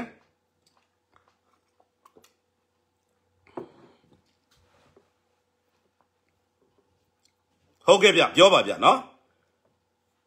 ကျွန်တော်ဒီမှာ comment လေးတွေပြန်ကြည့်နေပါတယ်ကျွန်တော်လွတ်သွားတဲ့ comment လေး စစ်ကားတွေတဲ့နော်လာမဲ့လမ်းကိုတန်တွေချပြီးဘိန်းပေါအောင်လုပ်လို့ရတယ်ဟုတ်တယ်ဗျတနိုင်တစ်ပိုင်းများကျွန်တော်ပြပြမယ်တန်ဆိုတာကဗျတန်သုံးဘက်ချွန်တရိကန်လေးလူဟာမျိုးတွေပေါ့နော်ကျွန်တော်တို့ဗျရုပ်ရှင်ထဲမှာဆိုနင်ဂျာကားထဲမှာဟာမျိုးလေးပေါ့သုံးဘက်ချွန်တရိကန်လေးဟာလေးအဲ့ဒီဟာလေးတွေစစ်ခွေးသွားမဲ့လမ်းမှာချနိုင်ရင်တော့မှဓာတ်ကောကတရက်အားပဲကျွန်တော်တို့မြန်မာစကားမှာရှိတယ်နော်ဘာလဲဆိုတော့နှမ်းတစီရေတစက်သဲတပွင့် စဉ်းစားကြည့်လိုက်နော်ကျွန်တော်တို့ပြည်သူအရောက်ချင်းစီတိုင်းကနှမ်းစီလေးတွေဖြစ်မယ်ဆိုရင်ကျွန်တော်တို့ပြည်သူအရောက်ချင်းစီတိုင်းကရေတပေါက်ချင်းစီဖြစ်မယ်ဆိုရင်သမုတ်တရားကြီးဖြစ်ပါတယ်နော်ဟုတ်တယ်ဗျနော်လူအားရှိတယ်စိတ်သက်ခွာရှိတယ်ငွေအားလူတယ်ငွေအားဆိုတဲ့အပိုင်းမှာခုနကကျွန်တော်တို့ဟိုပြည်ပရောက်မြန်မာတွေနော်အရန်ကိုကျေးဇူးတင်တယ်ဒီ2021ကထူးခြားမှုက ပြည်ပရောက်မြန်မာတွေကနော်အများကြီးရှိတဲ့အခါကျတော့တန်းချီရှိတဲ့အခါကျတော့ငွေအားရောစိတ်ဓာတ်အားရောဗျာနီးပေါင်းစုံနဲ့ကိုယ့်ရဲ့သက်ဆိုင်ရာနိုင်ငံအသီးသီးမှာလည်းသက်ဆိုင်ရာအစိုးရအသီးသီးကိုဖိအားပေးရတွေတောင်းဆိုတာတွေလုပ်နေတယ်နော်ဆိုတော့အရင်အားရဖို့ကောင်းတယ်ကျွန်တော်တို့ပြည်တွင်းပြည်ပစွမ်းအားတွေပူးပေါင်းပြီးတိုက်ပွဲဝင်နေတယ်နော်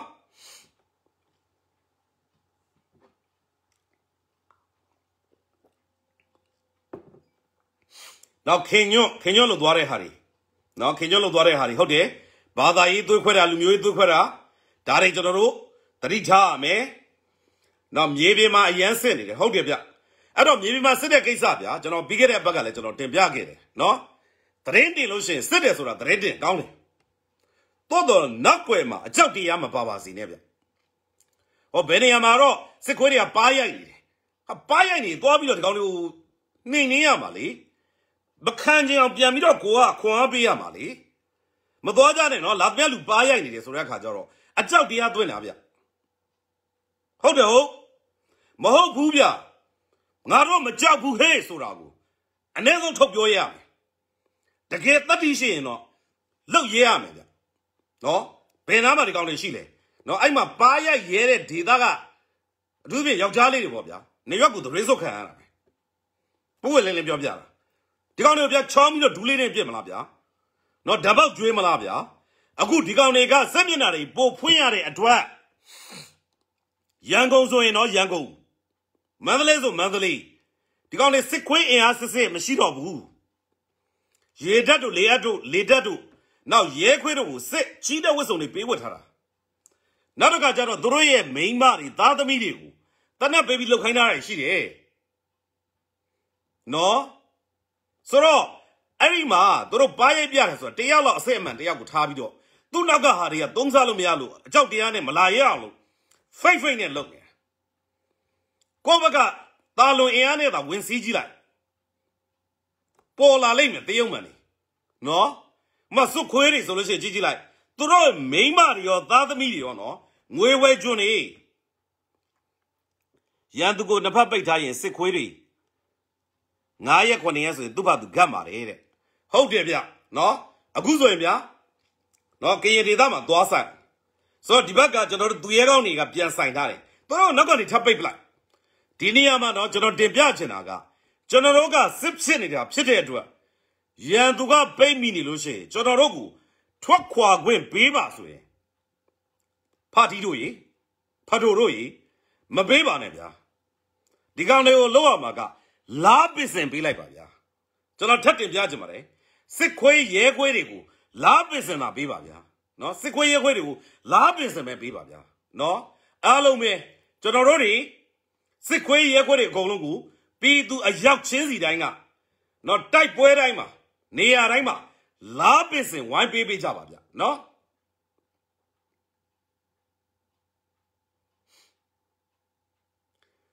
မီတာမဆာမှုဇွတ်တောင်းတဲ့ဖြူဒေတာဖြူဒေတာကပြည်သူတွေနော်မီတာမဆောင်တာကိုဇွတ်တောင်းပါတယ်တဲ့နော်ဆိုတော့ဒါမျိုးတွေကဖြစ်နေတယ်အဲ့တော့အဲ့ဒီဒေတာကပြည်သူတွေကျွန်တော်တို့ပြည်သူတွေကဘလောက်သွေးလဲဆိုတော့ပြရမယ်အချိန်ရောက်ပါပြီနော်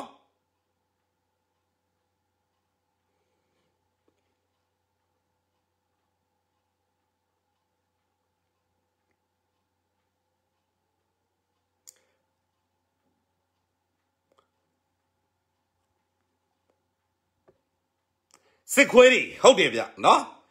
မာမန်သိရသားနဲ့စက်မိုက်ကျွဲနဲ့တလောက်နော်မက်ကန်တာမရှိဘူးအမှန်မှန်ဆိုရင်ဒီကောင်တွေလက်နဲ့ချသင့်နေပြီနော်လက်နဲ့ချသင့်နေပြီနော်အမှန်ကိုမြင်သင့်နေပြီနော်အဲ့ဒါကိုအခုချိန်ထိကိုမိုက်တွင်းနဲ့နေတယ်ဆိုတော့ဗျာကျွန်တော်ပြပြမယ်ဗျနော်စစ်ဖြစ်နေတာနော်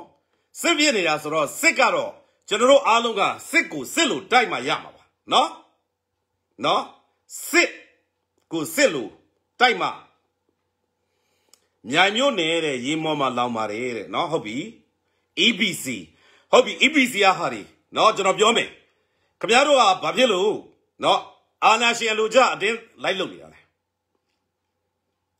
ခမည်းတော်ကိုယ်တိုင်ကလူလူလလနဲ့လုံနေတာဆိုရင်ခမည်းတော်လည်းလာပစ်စင်ပေးခံရလိမ့်မယ်နော် နောက်စီပင်သားရတခိုးတွေနော်မင်းတို့က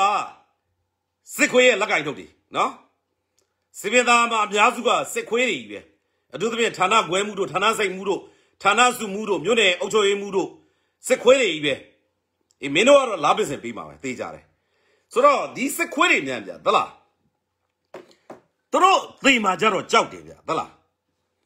ဟိုမန္တလေးစီပင်မှာလीနော် ခါကြတဲ့မှာပြောက်တည်နေဖြစ်ကုန်ပြီနော်ကြောက်တာကြောက်တာပြောပါတယ်နော်ပြောက်တည်နေဖြစ်ကုန်ပြီနော်နောက်ဒီကောင်တွေရဲ့ပြူစောထီးတွေနော်ပြောက်တည်ပေးထားတာတချို့ရှိတယ်ဗျဟုတ်လားဆိုတော့ကျွန်တော်တို့ကရန်သူလက်နဲ့ကိုယ်လက်နဲ့နော်ကျွန်တော်ဒီကနေပြီးတော့ပြည်သူတွေကိုသတင်းပေးထားခြင်းတယ်ဆိုတော့ပြူစောထီးတွေ့ရင်လာပစ်စင်ပေးလိုက်ပါဟုတ်တယ်ရန်သူကအရှင်ထွက်မထွက်ဘူးနော်စီပင်ကနော်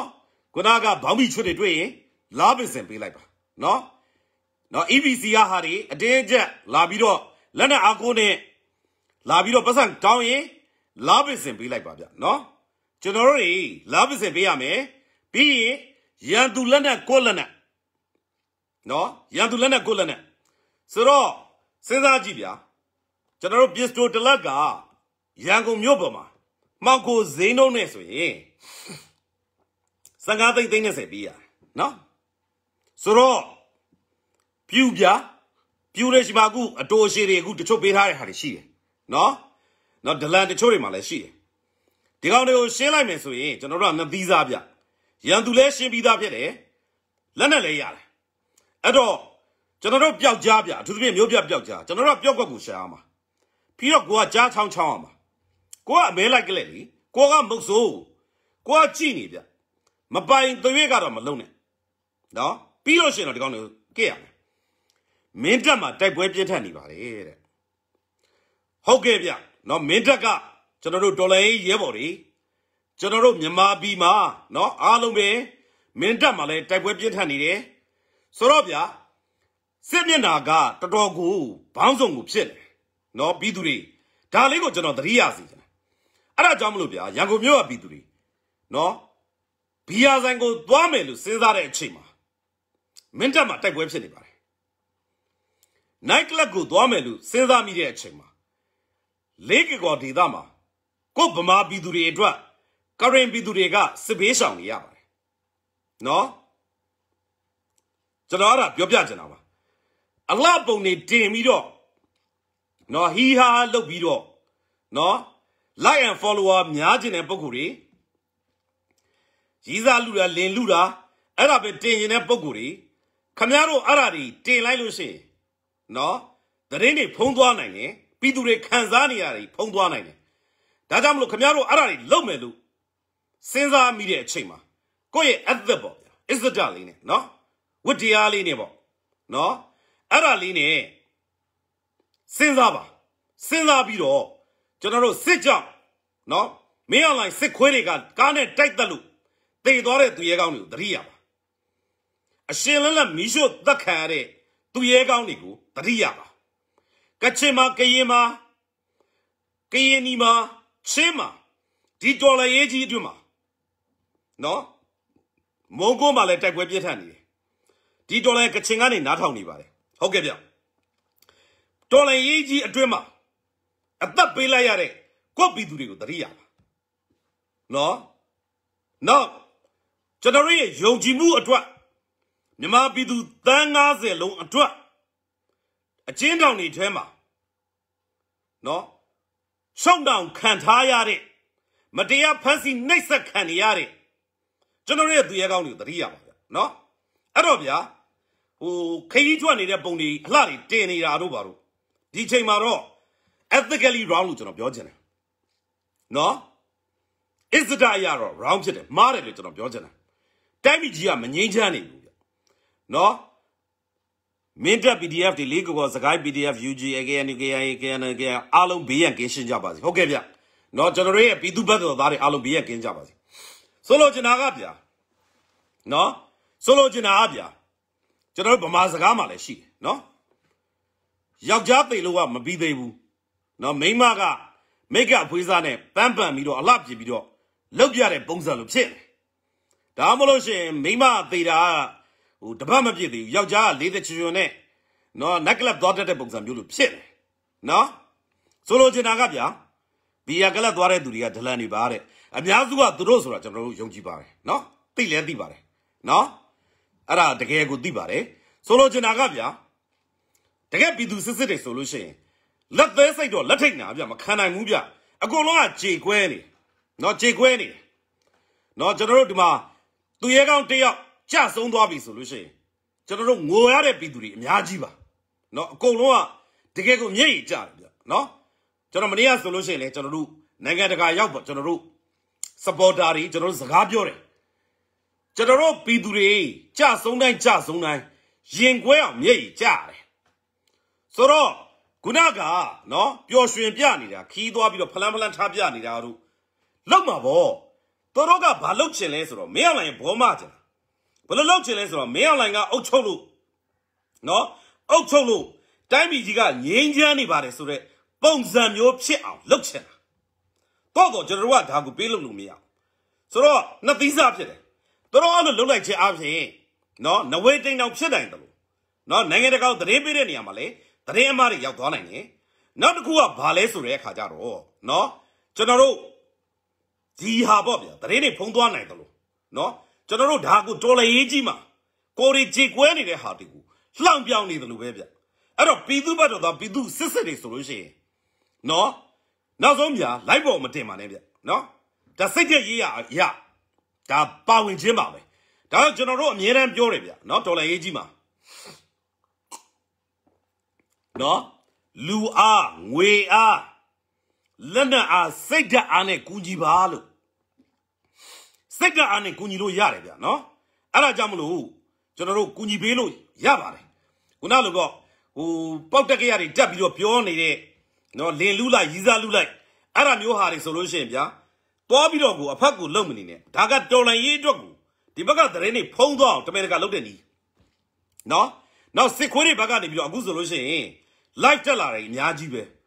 သွားပြီးတော့ဗျာအဖက်လုပ်ပြီးတော့သွားမကြည့်နဲ့နော် ဒီကောင်တွေကိုသွားပြီးတော့ comment လည်းမပေးနဲ့ဟာဟာလည်းမပေးနဲ့ angry လည်းမပေးနဲ့ဒီကောင်တွေကဓာလိုချင်လို့လုပ်နေတာနော်ပြီးသူကိုတပင်ကလုပ်နေတာအဲ့တော့အခုနောက်ပိုင်းစစ်ခွေးတွေကတက်လာတာများတယ်နော်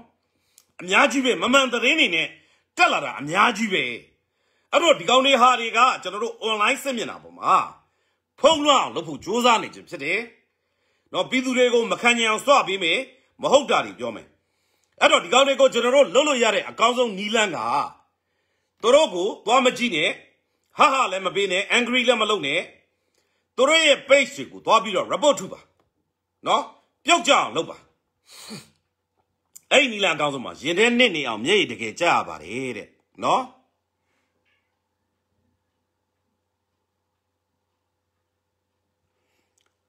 ဟုတ်ကဲ့ဗျတရားသူကြီးတွေနဲ့နော်ဟုတ်ကဲ့ တရားသူကြီးဆိုတာမြမပြည်မှာကနော်မြမပြည်မှာကျွန်တော်ပွင့်လင်ပြောခြင်းနဲ့တရားမျှတမှုစိတ်သုံးနေတယ်လုံးဝမရှိဘူးကြာခဲ့ပြီအဲ့တော့တရားဥပဒေဆိုတာမရှိသလိုတရားရုံးဆိုတာလည်းမရှိပါဘူးတရားသူကြီးဆိုတာလည်းမရှိပါဘူးကျွန်တော်ထပ်ပြောပါမယ်မြမပြည်မှာတရားမျှတမှုစိတ်သုံးနေပါတယ်တရားဥပဒေဆိုတာမရှိပါဘူးတရားရုံးဆိုတာမရှိပါဘူးတရားသူကြီးဆိုတာမရှိပါဘူးเนาะ ဒါကြောင့်မလို့မြန်မာပြည်မှာမတရားဥပဒေပဲရှိပါတယ်မတရားရုံးပဲရှိပါတယ်မတရားသူကြီးပဲရှိပါတယ်အာနာရှင်ရဲ့စစ်ဖက်နှက်ကိုကုန်းပြီးတော့ရက်နေတဲ့မတရားသူကြီးတွေပဲရှိပါတယ်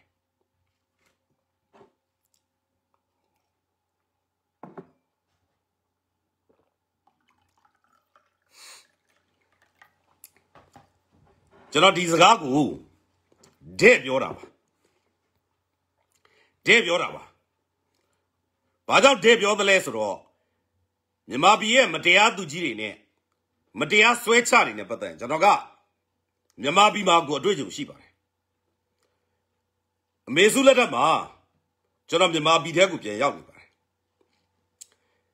ကျွန်တော်နိုင်ငံတကာဥပဒေပညာရှင်များအဖွဲ့နဲ့ကျွန်တော်လက်တွဲပြီးတော့နော်မြန်မာပြည်ကနော်နိုင်ငံတော်တရားရုံးချုပ်နော် အဲ့ဒါနဲ့ရှေ့နေချုပ်ယုံနော်အဲ့နှစ်ခုပါနော်ကျွန်တော်ကပြန်ပြီးတော့လူခွေရေးတွေနဲ့တရားဥပဒေစိုးမိုးရေးဆိုင်ရာအကြောင်းအရာတွေကိုနော်တနန်းစီစဉ်တာတွေပို့ချတာတွေလုပ်ခဲ့တဲ့ပုံကူပါအဘီဘီဆိုင်ရာဥပဒေပညာရှင်များအဖွဲ့ကော်မတီမှာကျွန်တော်ကအကြီးတန်းအကြံပေးလုပ်ခဲ့တာပါဆိုတော့ကျွန်တော်အသိဆုံးပါ သိတဲ့လောက်သိတယ်လို့ပြောပါမယ်နော်ကျွန်တော်စကားအောင်ဆိုတော့ကျွန်တော်တို့ဒီတရားရုံးချုပ်ကိုကျွန်တော်တို့သင်တန်းတွေပြောချတဲ့နေရာမှာမြို့နယ်တရားသူကြီးတွေခရိုင်တရားသူကြီးတွေတိုင်းတရားသူကြီးတွေနောက်အဲ့ဒီတရားရုံးချုပ်ကပြည်ထောင်စုတရားရုံးချုပ်ကနော်ပြည်ပြည်ထောင်စုတရားသူကြီးချုပ်ရုံးရနော်တရားသူကြီးတွေဒါတွေပါတယ်နောက်ကျွန်တော်တို့ရှင်းနေချုပ်ရုံးနော် အဲ့ဒီမှာကျွန်တော်သင်တန်းတွေပို့ချတဲ့အချိန်မှာနော်ဒီဘက်ကမြို့နယ်တရားရုံးနော်မြို့နယ်ဥပဒေရုံးနော်မြို့နယ်ခရိုင်နော်တိုင်းနော်နောက်ရုံးချုပ်ပေါ့ဗျာအဲ့ဒီကနော်မတရားဥပဒေအရာရှိအရက်ခေါ်ဆွဲချနေပါတယ်ဆိုတော့ကျွန်တော်တို့အဲ့မှာတင်နေနေပေးကြတဲ့ကနော်အများကြီးပြည့်ပြည့်စရာရှိတယ်ဆိုတော့ကျွန်တော်မြင်တယ်ဆိုတော့ကျွန်တော်ထပ်ပြောပါမယ် မြန်မာပြည်မှာတရားသူကြီးတွေကျွန်တော်တို့တင်နေပို့ချတော့ကအတွေ့အကြုံနော်ကျွန်တော်ပြောပြမယ်မြန်မာပြည်မှာတရားသူကြီးတွေရှိတယ်ဗျာထောင်ကနန်းလောက်ရှိတယ်ပေါ့အများစုကမတရားသူကြီးတွေဗျာသူတို့ကိုယ်တိုင်လည်းမတရားသူကြီးဆိုတာသူတို့သိတယ်ဘာကြောင့်လဲဆိုတော့ကျွန်တော်တို့တရားစီရင်ဆိုင်ရာကျင့်ဝတ်သိက္ခာမှာတရားသူကြီးတွေရဲ့ ethic ပေါ့နော်ဂုဏ်သိက္ခာကျင့်ဝတ်မှာဘာပါလဲဆိုတော့လွတ်လပ်မှုဆိုတာပါတယ်တတ္တိရှိမှုဆိုတာပါတယ် အခုသွားမေးကြည့်လိုက်အခုအမေစုကိုမတရားအမှုတွေနဲ့ဆွဲနေတဲ့မတရားသူကြီးဆိုတဲ့ခွေးမသားကိုသွားမေးကြည့်လိုက်အခုကျွန်တော်တို့ရဲ့ပြည်သူတွေကိုနော်စစ်ခွေးလို့ကြဘောမပြီးတော့စစ်ပနက်ကိုရက်နေတဲ့မတရားသူကြီးတွေသွားမေးကြည့်လိုက်မင်းတို့ကောင်းနေကိုကိုကိုနော်တရားသူကြီးလို့ဝန်ခံရဲလားကျွန်တော်မျက်နှာလာကြည့်ခိုင်းလိုက်မတရားသူကြီးပဲရှိတယ်မြန်မာပြည်မှာတရားသူကြီးမရှိဘူးသူတို့ကိုသူတို့သိတယ် အယံကိုအကြောက်တရားကြီးလွန်းတယ်သူတို့တွေအယံကိုအကြောက်တရားကြီးလွန်းတယ်တတ်တရှိတဲ့တရားသူကြီးစစ်စစ်မတွေ့ဘူးတတ်တရှိတဲ့လွတ်လပ်တဲ့တရားသူကြီးစစ်စစ်မရှိဘူးအဲ့ဒါကြောင့်မလို့တရားရေးစနစ်ကြီးတစ်ခုလုံးကိုစစ်ခွေးတွေကလှုပ်ချစ်တယ်လို့လှုပ်ပြီးအသုံးချနေတာဖြစ်တယ်ဒီတရားစီရင်အပိုင်းကိုနော်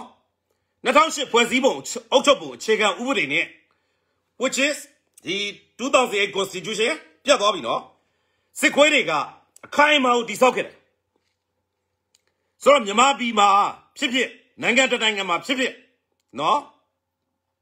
နိုင်ငံတနိုင်ငံမှာဖြစ်ဖြစ်ကျွန်တော်တို့ကအုပ်ချုပ်ရေးအာဏာရှိတယ်ဥပဒေပြုရေးအာဏာရှိတယ်တရားစီရင်ရေးအာဏာရှိတယ်အာဏာကြီး၃ရက်ဆိုတာရှိတယ်အဲ့ဒါကိုအချင်းချင်းကဘာလုပ်ရလဲဆိုတော့ check and balance လို့ခေါ်တယ်စောင့်ကြည့်ထိန်းသိမ်းရတာလုပ်ရတယ် ဆိုတော့မြန်မာပြည်မှာခုနကတရားရေးမန်တိုင်းကိုနော်2008ဥပဒေအရလွတ်လပ်စွာရှိရမယ်ဆိုပြီးတော့တို့ကတိတန့်ခွဲထုတ်ထားတယ်အဲ့တော့အမေစုတို့ဒီမိုကရေစီ85ချက်သာရတဲ့အချိန်နော်ရွှေစိတ်ဒီမိုကရေစီရတဲ့အချိန်နော်ကျွန်တော်မြန်မာပြည်မှာကျွန်တော်ကိုယ်တိုင်ပြည်တွင်းမှာနော်ရတဲ့အချိန်နော်လွတ်တော်ကဒါဥပဒေပြုရေးဒီဘက်က executive အုပ်ချုပ်ရေး ဆိုအပြန်လန်ထင်းကြောင်းအောင်ပါဘူးကျွန်တော်အခုတရားရေးကိုပြန်သွားမယ်တို့တော့2008အခြေခံဥပဒေနဲ့တရားရေးကိုလုံးဝထိလို့မရအောင်တို့ကလှုပ်ထားတယ်လှုပ်ထားတဲ့အခါကျတော့အဲ့မှာတရားသူကြီးချုပ်ကိုခန့်ခဲ့တာကသိမ့်စိန်ကထွန်းထွန်းကိုခန့်ခဲ့တာဆိုတော့အမေစုလက်ထက်မှာအမေစုလက်ထက်မှာအဲ့ထွန်းထွန်းကဆက်ပြီးတရားသူကြီးချုပ်ဖြစ် ဆိုတော့2008 constitution အရာနော်2008 constitution ဖွဲ့စည်းအုပ်ချုပ်ပုံအခြေခံဥပဒေကအဲ့တရားသူကြီးချုပ်ကိုနော်ဖြောက်ခွင့်မရှိဘူးဖြောက်လို့ရတာတနည်းပဲရှိတယ်အရေးချင်းပြက်ရွင်းရင်တဲ့တကယ်တော့ဗျကျွန်တော်ပွင့်လင်းပြောပြမယ်အဲ့ဒီစစ်ခွေးဗျနော်အဲ့ထွန်းထွန်းကျွန်တော်ဆက်ပြောမယ်နော်မြန်မာပြည်မှာလက်ရှိတရားသူကြီးချုပ်လုပ်တဲ့ စစ်ခွေးထွန်းထွန်းဦးဒီကောင်ကအရက်သားမဟုတ်ဘူးဘိုလ်မူကြီးထွန်းထွန်းဦးအဲ့ကောင်ကိုပစိုးပေးဝတ်ထားတာဗျနော်အဲ့ဒါကိုတရားသူကြီးချုပ်အဲ့တော့မြန်မာပြည်မှာတရားရေးမှန်တိုင်ရှိတယ်အုပ်ချုပ်ရေးမှန်တိုင်ရှိတယ်ဥပဒေပြုရေးမှန်တိုင်ရှိတယ်ဆိုတော့ဒီတရားရေးမှန်တိုင်ကိုကင်လာတာဘာတူလဲစစ်ခွေးစစ်ခွေးဗျဘုံမူကြီးထွန်းထွန်းက ဦးထွန်းထွန်းဦးဆိုပြီးလှုပ်ထားတာဆိုတော့သိမ့်စိန်တို့လက်ထက်မှာနောက်တစ်ခုနော်ကျွန်တော်တို့အမြဲတမ်းအတွင်းဝင်နေဆိုတာခန့်တယ်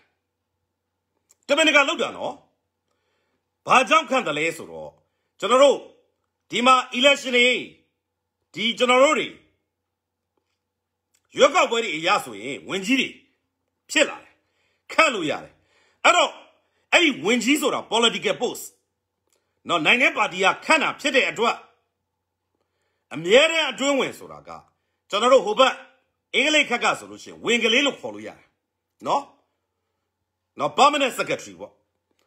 တကယ်ရတော့အဲ့ဒီအမြဲတမ်းအတွင်းဝင်ဆိုတဲ့ယာဒူးသည်လောက်ပိုင်ခွင့်ကဝင်းကြီးတဲ့အောင်ကြီးသေးတယ်နော်သူကအမြဲတမ်းရှိနေတဲ့ဝင်နေဝန်ထမ်းသိမ့်စိန်တို့ကအဲ့လိုပလန်နဲ့ အဲ့လိုပလန်နဲ့ဟုတ်ကျွန်တော်အတန်မကြားတော့ဘူးလားဗျကြားလားဗျကျွန်တော်နည်းနည်းလေးပြောပြပေးပါအောင်မကြားဘူးလို့ကျွန်တော်ပြောတဲ့လူပြောလို့ဟုတ်ကဲ့ဗျကြားလားဗျဆိုတော့သူတို့ကအဲ့လိုနီးနဲ့ဘာမှမကြားဘူးလို့ပြောတယ်ဟယ်လိုဟယ်လိုကြားလားဗျအော်ဟုတ်ကဲ့ကြားရတယ်နော် ဟုတ်ကဲ့ဟုတ်ကဲ့โอเคကိုထွန်းစီဗျအဲ့ဒါဆိုလို့ရှိရင်ဆရာဘက်ကမကြားရတာဖြစ်ပါလိမ့်မယ်နော်နည်းနည်းလေးကိုယ့်ရဲ့ဟိုဟာလေးကိုကြည့်ကြည့်လိုက်ပါအဲ့တော့အမြဲတမ်းအတွင်းဝင်ဆိုတာကိုသိမ့်စိန်တော့ကနော်ပလန်နဲ့နော်ဒီကောင်နေလုတ်သွားတာဒီအကုန်လုံးပလန်နဲ့လုတ်တာဘာလို့လဲဆိုတော့အမြဲတမ်းအတွင်းဝင်တွေကိုခန့်ပလိုက်တယ်ဝင်ကြီးဌာနတိုင်းမှာအဲ့တော့ဘာလဲဆိုတော့အဲ့အသွင်ပြောင်းနေပေါ့ဗျာအသွင်ပြောင်းနေပေါ့အသွင်ပြောင်းဆိုတာကကျွန်တော်ပြောချင်တာအဲ့ဒါပဲအဲ့အမြဲတမ်းအတွင်းဝင်ရဲ့ခန့်လိုက်တဲ့အချိန်မှာ 65ရာခိုင်နှုန်းလုံးကစစ်တပ်ကဗိုလ်မှူးတွေကိုခန့်လိုက်တာအသွင်ပြောင်းနေခန့်ပလိုက်ပြီးတော့အမြဲတမ်းအတွင်းဝင်နေသည်ကျွန်တော်တို့ဒီဘက်က political post ရလာမဲ့ဝင်ကြီးတွေကို check and balance လုပ်ဖို့အောက်ကဝန်ထမ်းတွေကိုဖိနှိပ်ဖို့လို့အမြဲတမ်းအတွင်းဝင်နေခန့်ပလိုက်တာအဲ့ဒီအမြဲတမ်းအတွင်းဝင်တွေကိုဘယ်ကောင်တွေကခန့်တယ်လဲမြန်မာပြည်မှာရှိတဲ့ယာဒူးဝင်အဖွဲ့ကခန့်အဲ့တော့အဲ့ဒီယာဒူးဝင်အဖွဲ့ကော အကုန်လုံးပြစစ်ခွေးတွေခန့်ထားခဲ့တဲ့ကောင်တွေအကုန်လုံးကျွန်တော်တို့ကရှင်းပြရမှာဖြုတ်ပြရမှာအကုန်လုံးဆိုတော့ကျွန်တော်ခုနတရားရေးမှန်တိုင်ကိုကျွန်တော်ပြန်သွားမယ်အဲ့တော့ကျွန်တော်ကိုယ်တိုင်ခုနကပြည်ထောင်စုတရားရုံးချုပ်နော်နော်ပြည်ထောင်စုရှဲတွေချုပ်ယုံအဲ့ဒါတွေနဲ့ကျွန်တော်တို့ကအမေစုလက်ထက်မှာနော်ကျွန်တော်တို့နိုင်ငံတကာတွေအနေနဲ့တွားပြီးတော့လူအခွင့်အရေးနဲ့တရားဥပဒေစိုးမိုးရေးကိုသင်တန်းပို့ချလာတာဖြစ်တယ်ကျွန်တော်ကိုယ်တိုင်သင်တန်းစီရတယောက်ဖြစ်တယ် ဆိုတော့အဲ့ဒီတော့မြန်မာပြည်ကမတရားသူကြီးတွေလက်ရှိနော်ခုနကဆွဲချတယ်ကျွန်တော်ကောင်းကောင်းသိတယ်ကောင်းကောင်းသိတယ်တို့တော့ကိုယ်တိုင်လည်းနေ့စဉ်လက်ရှိမတရားသူကြီးဖြစ်ရက်တည်နေရတာအစ်စတာတွေရှင်းမှာမဟုတ်ဘူးသိရတယ်ဆိုတော့ခုနကတရားရုံးချုပ်ကနော်မြန်မာတပြည်လုံးမှာရှိတဲ့တရားရုံးတွေကိုဘလို့လွှမ်းမိုးချုပ်ထိန်တာလဲဆိုတော့ခုနကဗိုလ်မှူးကြီးထွန်းထွန်းဦးကိုပြည်တော်စုတရားသူကြီးချုပ်အဖြစ်ခန့်ထားပြီးတော့ ချုပ်ထိန်တာခြင်းဖြစ်တယ်နော်ချုပ်ထိန်တာခြင်းဖြစ်တယ်ဆိုတော့ကျွန်တော်ခုနကအမြဲတမ်းအတွင်းဝင်နေဆိုတာကိုကျွန်တော်စကားခံပြီးပြောတော့အလကားမဟုတ်ပါဘူးအဲ့တော့ကျွန်တော်ခုနကတင်ပြခဲ့တယ်လို့ရုံးဌာနတွေမှာနော်ဝင်ကြီးကိုကောင်တာချက်လုပ်ဖို့နော်အမြဲတမ်းတွန်းဝင်နေရှိတယ်ဟိုဘက်ခက်ကဆိုရင်ဒါသည် ဝင်ကလေးလို့ခေါ်တယ်အဲ့ဒီအမြဲတမ်းအတွင်းဝင်နေသည်တက်ကများတယ်ဆိုတော့လေကျွန်တော်တင်ပြခဲ့ပြီနော်ဘုံမှုတွေများတယ်အဲ့တော့တက်ကလာတဲ့ကောင်ဒီတက်ကိုပဲအမြဲတမ်းသစ္စာခံတယ်အများစုဗျတက်ကလာတဲ့ကောင်ဒီအများစု90ရာခိုင်နှုန်းတက်ကိုပဲသစ္စာခံတယ်အဲ့တော့ခုနကအမြဲတမ်းအမြဲတမ်းအမြဲတမ်းအမြဲတမ်းအမြဲတမ်း နော်တနန်းပို့ချတာရေဆိုအမြဲတမ်းကျေးဇူးတင်ပါတယ်ဆရာမကြီးအမြဲတမ်းအမြဲတမ်းအမြဲတမ်းနော်ကြည့်ကြည့်လိုက်အခုတက်ကလာတဲ့ကောင်တွေသည်နော်ကြည့်ကြည့်လိုက်နော်နော်အခုကြည့်ကြည့်လိုက်စစ်ခွေးထောက်ပြုတ်တွေ live ပြန်တက်လာတယ်သူတို့စစ်တပ်အတွက်ပဲပြန်ပြီး live တက်လာတယ်နော်နိုင်ငံတကာမှာရောက်နေတယ်နော်ခိုလုံခွင့်နဲ့နေတဲ့စစ်ထောက်ပြုတ်တွေစစ်ခွေးပြုတ်တွေနော်ဘာလို့လဲ live တွေတက်လာပြီးတော့ သူတို့စစ်တပ်ကိုထောက်ခံတာတွေပြန်ပြီးတော့ live တက်လာတယ်ဒါကအကင်းလေးတွေပဲရှိတယ်အဲ့တော့ဘာဖြစ်လဲဒီထွန်းထွန်းဦးဘုံမကြီးထွန်းထွန်းဦးကသူ့ရဲ့ငယ်မွေးချံပေါက်သူ့တပည့်ဘိုလ်မူကိုကိုနိုင်ကိုအဲ့ဒီပြည်တော်စုတရားသူကြီးချုပ်ရုံးမှာအမြဲတမ်းအတွင်းဝင်အဖြစ်ဥကိုကိုနိုင်ဆိုပြီးတော့ခန့်တယ်အဲ့ဒီစစ်ခွေးကိုကိုနိုင်တို့ထွန်းထွန်းဦးတို့ကျွန်တော်တို့ဆက်ဆံခဲ့ရတာအဲ့တော့ကိုကိုနိုင် မင်းကိုငါကောက်သိတယ်လို့မင်းလည်းငါ့ကိုသိတယ်မင်းတို့မတရားမှုတွေလုပ်နေတာငါသိတယ်အဲ့တော့ပြည်သူကမင်းတို့ကိုစုံမမယ်ချိန်ရောက်ပြီရောက်ထွန်းထွန်းဦးမင်းလည်းတူတူပဲနော်ဘုံမူကြီးထွန်းထွန်းဦးဘုံမူကိုကိုနိုင်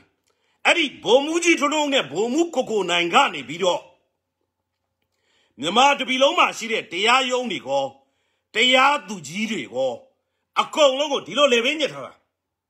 အဲ့တော့မြန်မာပြည်မှာရှိတဲ့ အယက်သားတရားသူကြီးမတရားသူကြီးတရေဘောကြောင်တဲ့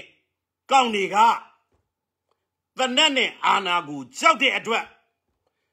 စစ်ဘောကိုမပြီးတော့စစ်ဖနက်ကိုရှာနေရကြတယ်ဗျာအဲ့ဒါမြန်မာပြည်ရဲ့တရားစီရင်ရေးပဲအဲ့တော့ကျွန်တော်ပြောချင်တာကမြန်မာပြည်မှာမတရားရုံးပဲရှိတယ်မတရားဥပဒေပဲရှိတယ်မတရားသူကြီးပဲရှိတယ် အဲ့တော့1988ကကျွေးကြော်တဲ့လေးကိုပဲကျွန်တော်ပြန်ပြီးတော့ပက်တင်ထမ်းရမယ်ဆိုရင်မတရားတဲ့ဥပဒေတွေပုံမှန်တွေအားလုံးကိုကျွန်တော်တို့ပြည်သူအားလုံးကတာဝန်ရတော်လန်ကြရမယ်เนาะကျွန်တော်အဲ့ဒါလေးကိုတင်ပြချင်တယ်ခမရ85ဟုတ်ကဲ့အဲ့ဒါဘာပြောချင်တာလဲမသိဗျဆီယမ နော်ဒါကအဲ့ဒါကကျွန်တော်ဒါဒါတင်ပြတာနော်ကျွန်တော်ကလက်တွေ့ကျွန်တော်ကိုယ်တိုင်ဆက်ဆံလာတာကျွန်တော်ကိုယ်တိုင်သင်တန်းပို့ချလာတယ်အဲ့ဒီမှာခုနကထွန်းထွန်းဦးတို့ကိုကိုနိုင်တို့ကျွန်တော်ဆက်ဆံလာခဲ့ရတာကိုကိုနိုင်ဆိုရင်ဒါအမေစုလက်ထက်မှာနော်ကျွန်တော်တို့တွေသင်တန်းတွေပေးဖို့ဆိုလို့ရှိရင်နော်ကျွန်တော်တို့ MOU ထိုးထားတယ်နိုင်ငံတကာပညာရှင်တွေအနေနဲ့ကျွန်တော်တို့ MOU ထိုးထားတယ်နားလည်မှုစာချုပ်ပေါ့ဗျာနော်ထိုးထားတဲ့အခါကျတော့ ဒီတရားသူကြီးတွေကိုကျွန်တော်တို့ကသင်တန်းပေးမယ်လူခွေရေးအကြောင်းသင်တန်းပေးမယ်နိုင်ငံတကာတရားဥပဒေနိုင်ငံတကာဥပဒေတွေအကြောင်းလူခွေရေးတွေအကြောင်းသင်တန်းပေးမယ်ဆိုရင်ကိုကိုတိုင်ကအမြဲတမ်းအတွင်းဝင်ဖြစ်နေတဲ့အတွက်နော်အမြဲတမ်းအတွင်းဝင်ဖြစ်နေတဲ့အတွက်ဆက်ဆက်ပြီးတော့သူတို့နဲ့လုပ်တယ်တရင်ပေးပေးပါ PDF တွေအတွက်ဟုတ်ကဲ့ပေးပေးလို့ရပါတယ်ဆီယမမတ်တင်ဘက်ခင်ဗျဟုတ်ကဲ့တရင်ပေးပေးပါဆိုတော့ PDF တွေအတွက်ဟုတ်ကဲ့ခမရ85ဘာဆက်ဖြစ်လဲမသိဗျကျွန်တော်တစ်ချက်လောက်ရေးပေးပါဗျကျွန်တော်ဖတ်နေပါတယ်ဗျဟုတ်ကဲ့ဗျဆီယမကြီးဆီယမမတ်တင်ဘက်ခင်ဗျဟုတ်ကဲ့ဗျ PDF တွေအတွက်ကိုသတင်းပေးပေးပါဟုတ်ကဲ့ခမရ85ဟုတ်ကဲ့ဗျကျွန်တော်ရှေ့ပိုင်းလေးမမြင်လိုက်လို့ဗျเนาะကျွန်တော်အဲ့ဒါလေးတစ်ချက်လောက်ပြန်ရိုက်ပြပေးပါဗျဆိုတော့ PDF တွေအတွက်ကိုเนาะသတင်းပေးပေးပါတဲ့เนาะခမရ85အဲသူတို့ တက်လာတာလားဒါမှမလို့ရှိရင်စစ်ကူလာတာလားအော်โอเคဟုတ်ကဲ့ဗျလမ်းကဖြတ်တိုက်ဖို့ဆီယမကြီးအဲ့ဒါကရင်ဒေတာဘက်လားဆီယမဆီယမဆီယမမတင်ဘက်ခင်ဗျခမရ85လမ်းကဖြတ်တိုက်ဖို့ဟုတ်ကဲ့ဗျခမ85တက်လာတယ်ပေါ့နော် PDF တွေကျွန်တော်ဒေတာဆိုင်ရာကာကွယ်ရေးတပ်တွေနော်ကျွန်တော်တို့ PDF တွေမျိုးပြပျောက်ကြားတွေဟုတ်ကဲ့ဒီမှာဒီမှာပြည်သူတွေကပြည်သူပေါ့နော် ခမရကချင်းပြန်တက်ရင်လားမသိဟုတ်ပါတယ်ဗျချင်းပြန်တက်ရင်ပါဗျနော်လမ်းကဖြတ်တိုက်လို့ရအောင်တဲ့ပြည်သူကသတင်းပေးလာပါတယ်ဆီယမမတင်ဘက်ကသတင်းပေးလာပါတယ်ဆိုတော့လမ်းကဖြတ်တိုက်လို့ရအောင်တဲ့ခမရ85နော် PDF တွေ LDF တွေမျိုးပြပျောက်ကြားတွေကျွန်တော်ဒီနေရာကနေသတင်းပေးပါတယ်ခမရ85 4K ကောဟုတ်ကဲ့ဗျနော် 4K ကောဖြတ်တိုက်လို့ရအောင်လို့သတင်းပေးပါတယ်ခမရ85စခမရ85 4K ကောအဲ့ဘက်ဒေသမှာကျွန်တော်တို့နော်ကျွန်တော်တို့ကရင်တော်လိုင်းသူရဲကောင်းတွေနော်နောက်တစ်ခါကျတော့ကျွန်တော်တို့ PDF တွေ LDF တွေဂျားကနေဖြတ်တိုက်လို့နော်ရအောင်လို့ဟုတ်ကဲ့ပါကြိုက်တဲ့အမှုဖြစ်ပါစေတဲ့အမှုပေါက်စေမြို့နယ်ခရိုင်ပြည်နယ်အစစ်စစ်ဖြစ်သတ်မှတ်ပြီးသားပါတဲ့သတ်မှတ်စီပေးနိုင်မှာကအနိုင်ရပါသည်တဲ့အဲ့ဒါကဥပဒေနဲ့လှုပ်ရှားတာလေနော်ဆိုတော့ကျွန်တော်ခုနကဒါကတော့ကျွန်တော် ဒီဘက်ကနိုင်ငံရေးနဲ့ဆိုင်တဲ့ဟာကိုပဲကျွန်တော်ပြောပြနေသေးတာနော်ဆိုတော့အဲ့ဒီမတရားသူကြီးတွေကိုနော်ဘလို့နှစ်ဖားကြိုးထိုးသလဲဆိုတာဟုတ်ကဲ့ဗျနောက်ကိုလည်းပြည်သူတွေဆီယမမတင်ဘက်ကအားလုံးပဲနော်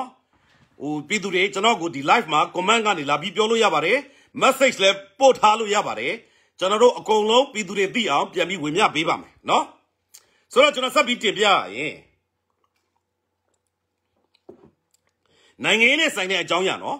မတရားသူကြီးတွေကိုနဖားကျိုးထိုးထားတာကျွန်တော်ပြောပြမယ်နော်နဖားကျိုးထိုးတယ်ဆိုကြတဲ့ကနွားမလို့ပေါ့ဗျာနော်နွားတွေပေါ့မြတ်စားလို့ပေါ့ဒါပေမဲ့သူတို့ကမြတ်မစားပဲလက်စားနေတာဗျာကြောက်ကလည်းကြောက်တတ်သေးတယ်နော်ကြောက်လို့ပေါ့ဗျာတရားသူကြီးရဲ့ကျင့်ဝတ်တိတ်တာမှာတိတ်ခါမှာတတ္တိဆိုတာရှိတယ်လွတ်လပ်မှုဆိုတာရှိတယ်အဲ့ဒါတွေတခုမှမရှိဘဲနဲ့ဗျာတရားသူကြီးဝစ်စုံကိုစက်ဝစ်နေတယ်မတရားသူကြီးတွေခင်ဗျားတို့မရှက်ဘူးလားခင်ဗျားတို့ကျွန်တော်မျက်နှာကြည့်ရလားကြည့်လေ ခင်ဗျားမရှက်ဘူးလားမရှက်ဘူးလားရှက်လားမရှက်ဘူးလားဗျာခင်ဗျားတို့ထွက်လိုက်လို့လीဗျာထွက်လိုက်ကြပါဗျာနော်တကယ်ပြောတာခင်ဗျားတို့ကိုယ့်ကိုရှက်စမ်းပါငါသည်တရားသူကြီးဆိုတဲ့ဘွဲ့နဲ့တန်သလားတရားရေးတရားသူကြီးဆိုတာကလေအမိကိုကင်းရတယ်လွတ်လပ်ရတယ်ဗတ်မလိုက်ရဘူးဒါစစ်မှန်တဲ့တရားရေးခမရတို့ကစစ်ကြွနေ နော်တရားသူကြီးတွေစီဒီအမ်လည်းမလုပ်ကြဟုတ်ပါဗျာခမရတရားရေးအ ਨੇ ဆုံးပဲနော်နိုင်ငံသားရေးအ ਨੇ ဆုံးပဲနော်ခုနကရှင်းနေနော်ခုနကဝိုးစားမတရားဥပဒေရုံးနေအ ਨੇ ဆုံးပဲနော်ဒါကမြန်မာပြည်ရဲ့မတရားရေးမှန်နိုင်ကိုကျွန်တော်ပြောပြတာနော်ကျွန်တော်ကိုယ်တိုင်အတွင်းမှာလောက်လာလို့ကျွန်တော်ပြောပြတာလောက်လာဆိုတော့ကျွန်တော်ကနိုင်ငံတကာပညာရှင်တယောက်အနေနဲ့ကျွန်တော်သွားပြီးတော့လောက်လာခဲ့တယ် ဆိုတော့ခုနကကိုကိုနိုင်ဘုံမှုကိုကိုနိုင်အကြောင်းကျွန်တော်ပြောရမယ်ဆိုရင်အမေစုလက်ထက်မှာအမေစုနဲ့နော်ဒီဘက်ကနိုင်ငံတကာခေါင်းဆောင်တွေနဲ့ပညာရှင်တွေနဲ့လက်မှတ်ထိုးထားပြီးတော့ခုနကတရားရေးရဲ့ဥပဒေရေးရာကိုပြုတ်ပြင်ပြောင်းလဲဖို့အရေးချင်းနဲ့တက်လောင်လုပ်ဖို့သဘောတူပြီးသားတောင်မှအောက်ချိန်မှာခုနကငတ်ကိုကိုအနိုင်နော်ငတ်ထွန်းထွန်းတို့ရစ်တာရစ်တာကြက်တာကြက်တာဆိုတာ သင်တန်းပေးမယ်ဆိုလို့ရှိရင်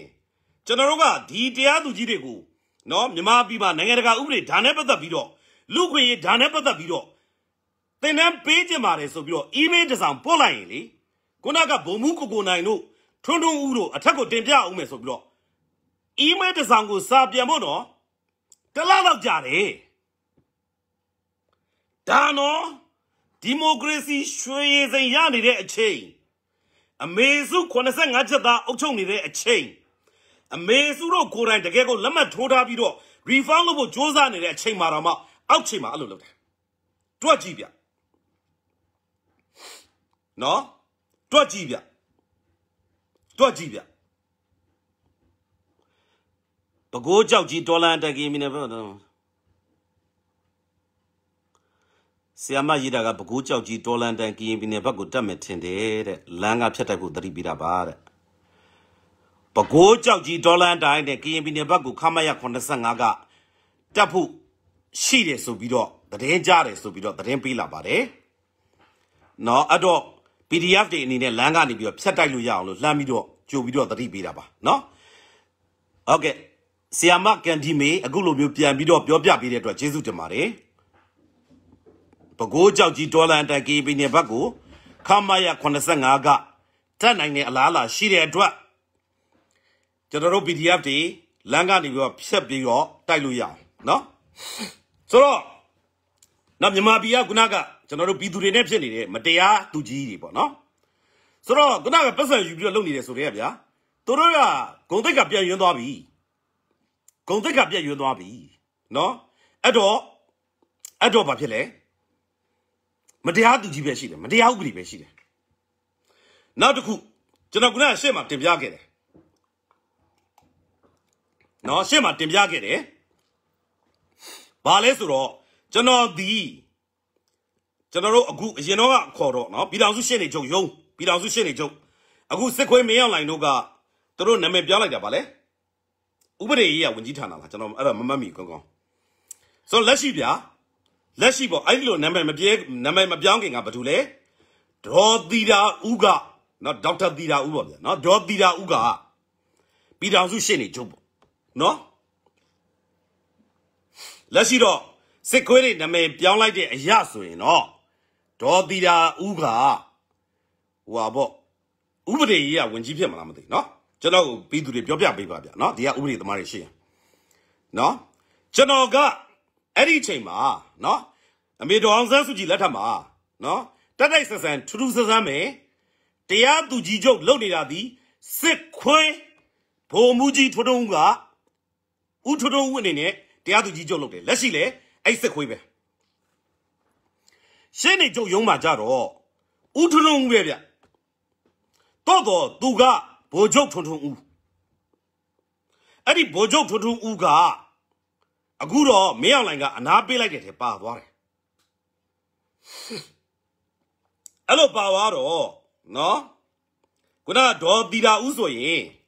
အမေစုနဲ့ ICJ ကိုနောက်ကနေလိုက်သွားတဲ့ထဲမှာပါတယ်လေဗျာနော်အဲ့ဒီအမေစုနဲ့သူလိုက်သွားတဲ့အချိန်တော့သူကညွန့်ချုပ်အစ်စ်မှရှိသေးတယ်အဲ့ဒေါ်တီတာဦးကတိတ်တွတ်တွတ်တာဗျာနော်တိတ်တွတ်တာအရန်တွတ်တာကျွန်တော်တို့အမေစုလက်ထက်မှာတော့လက်တွဲပြီးတော့ကျွန်တော်တို့ လောက်ရတာပေါ့နော်အဲ့ဒီချိန်ကလည်းကိုကလည်းတရားဥပဒေကိုပြောင်းလဲစေချင်တယ်လေသူကလည်းစန္ဒရှိတယ်ပြောတာကိုသူကပြောတယ်ကျွန်တော်ကိုကျွန်တော်တို့အချင်းချင်းပဲပြဿနာပြောင်းလဲချင်တယ်ဆိုပြီးပြောတော့အခုကျတော့ဒေါ်တီတာဦးကမပြောင်းလဲချင်ဘူးအဲ့ဒါကြောင့်စစ်ခွေးအောက်မှာစစ်ကြုံခံတာဗောဗျနော်ကျွန်တော်ခုနကဦးထွန်းထွန်းနော်ပြည်တော်စုရှင်းနေကြုံလောက်သွားတဲ့ဗိုလ်ချုပ်ထွန်းထွန်းဦးကြောင့်ကျွန်တော်ပြောမယ်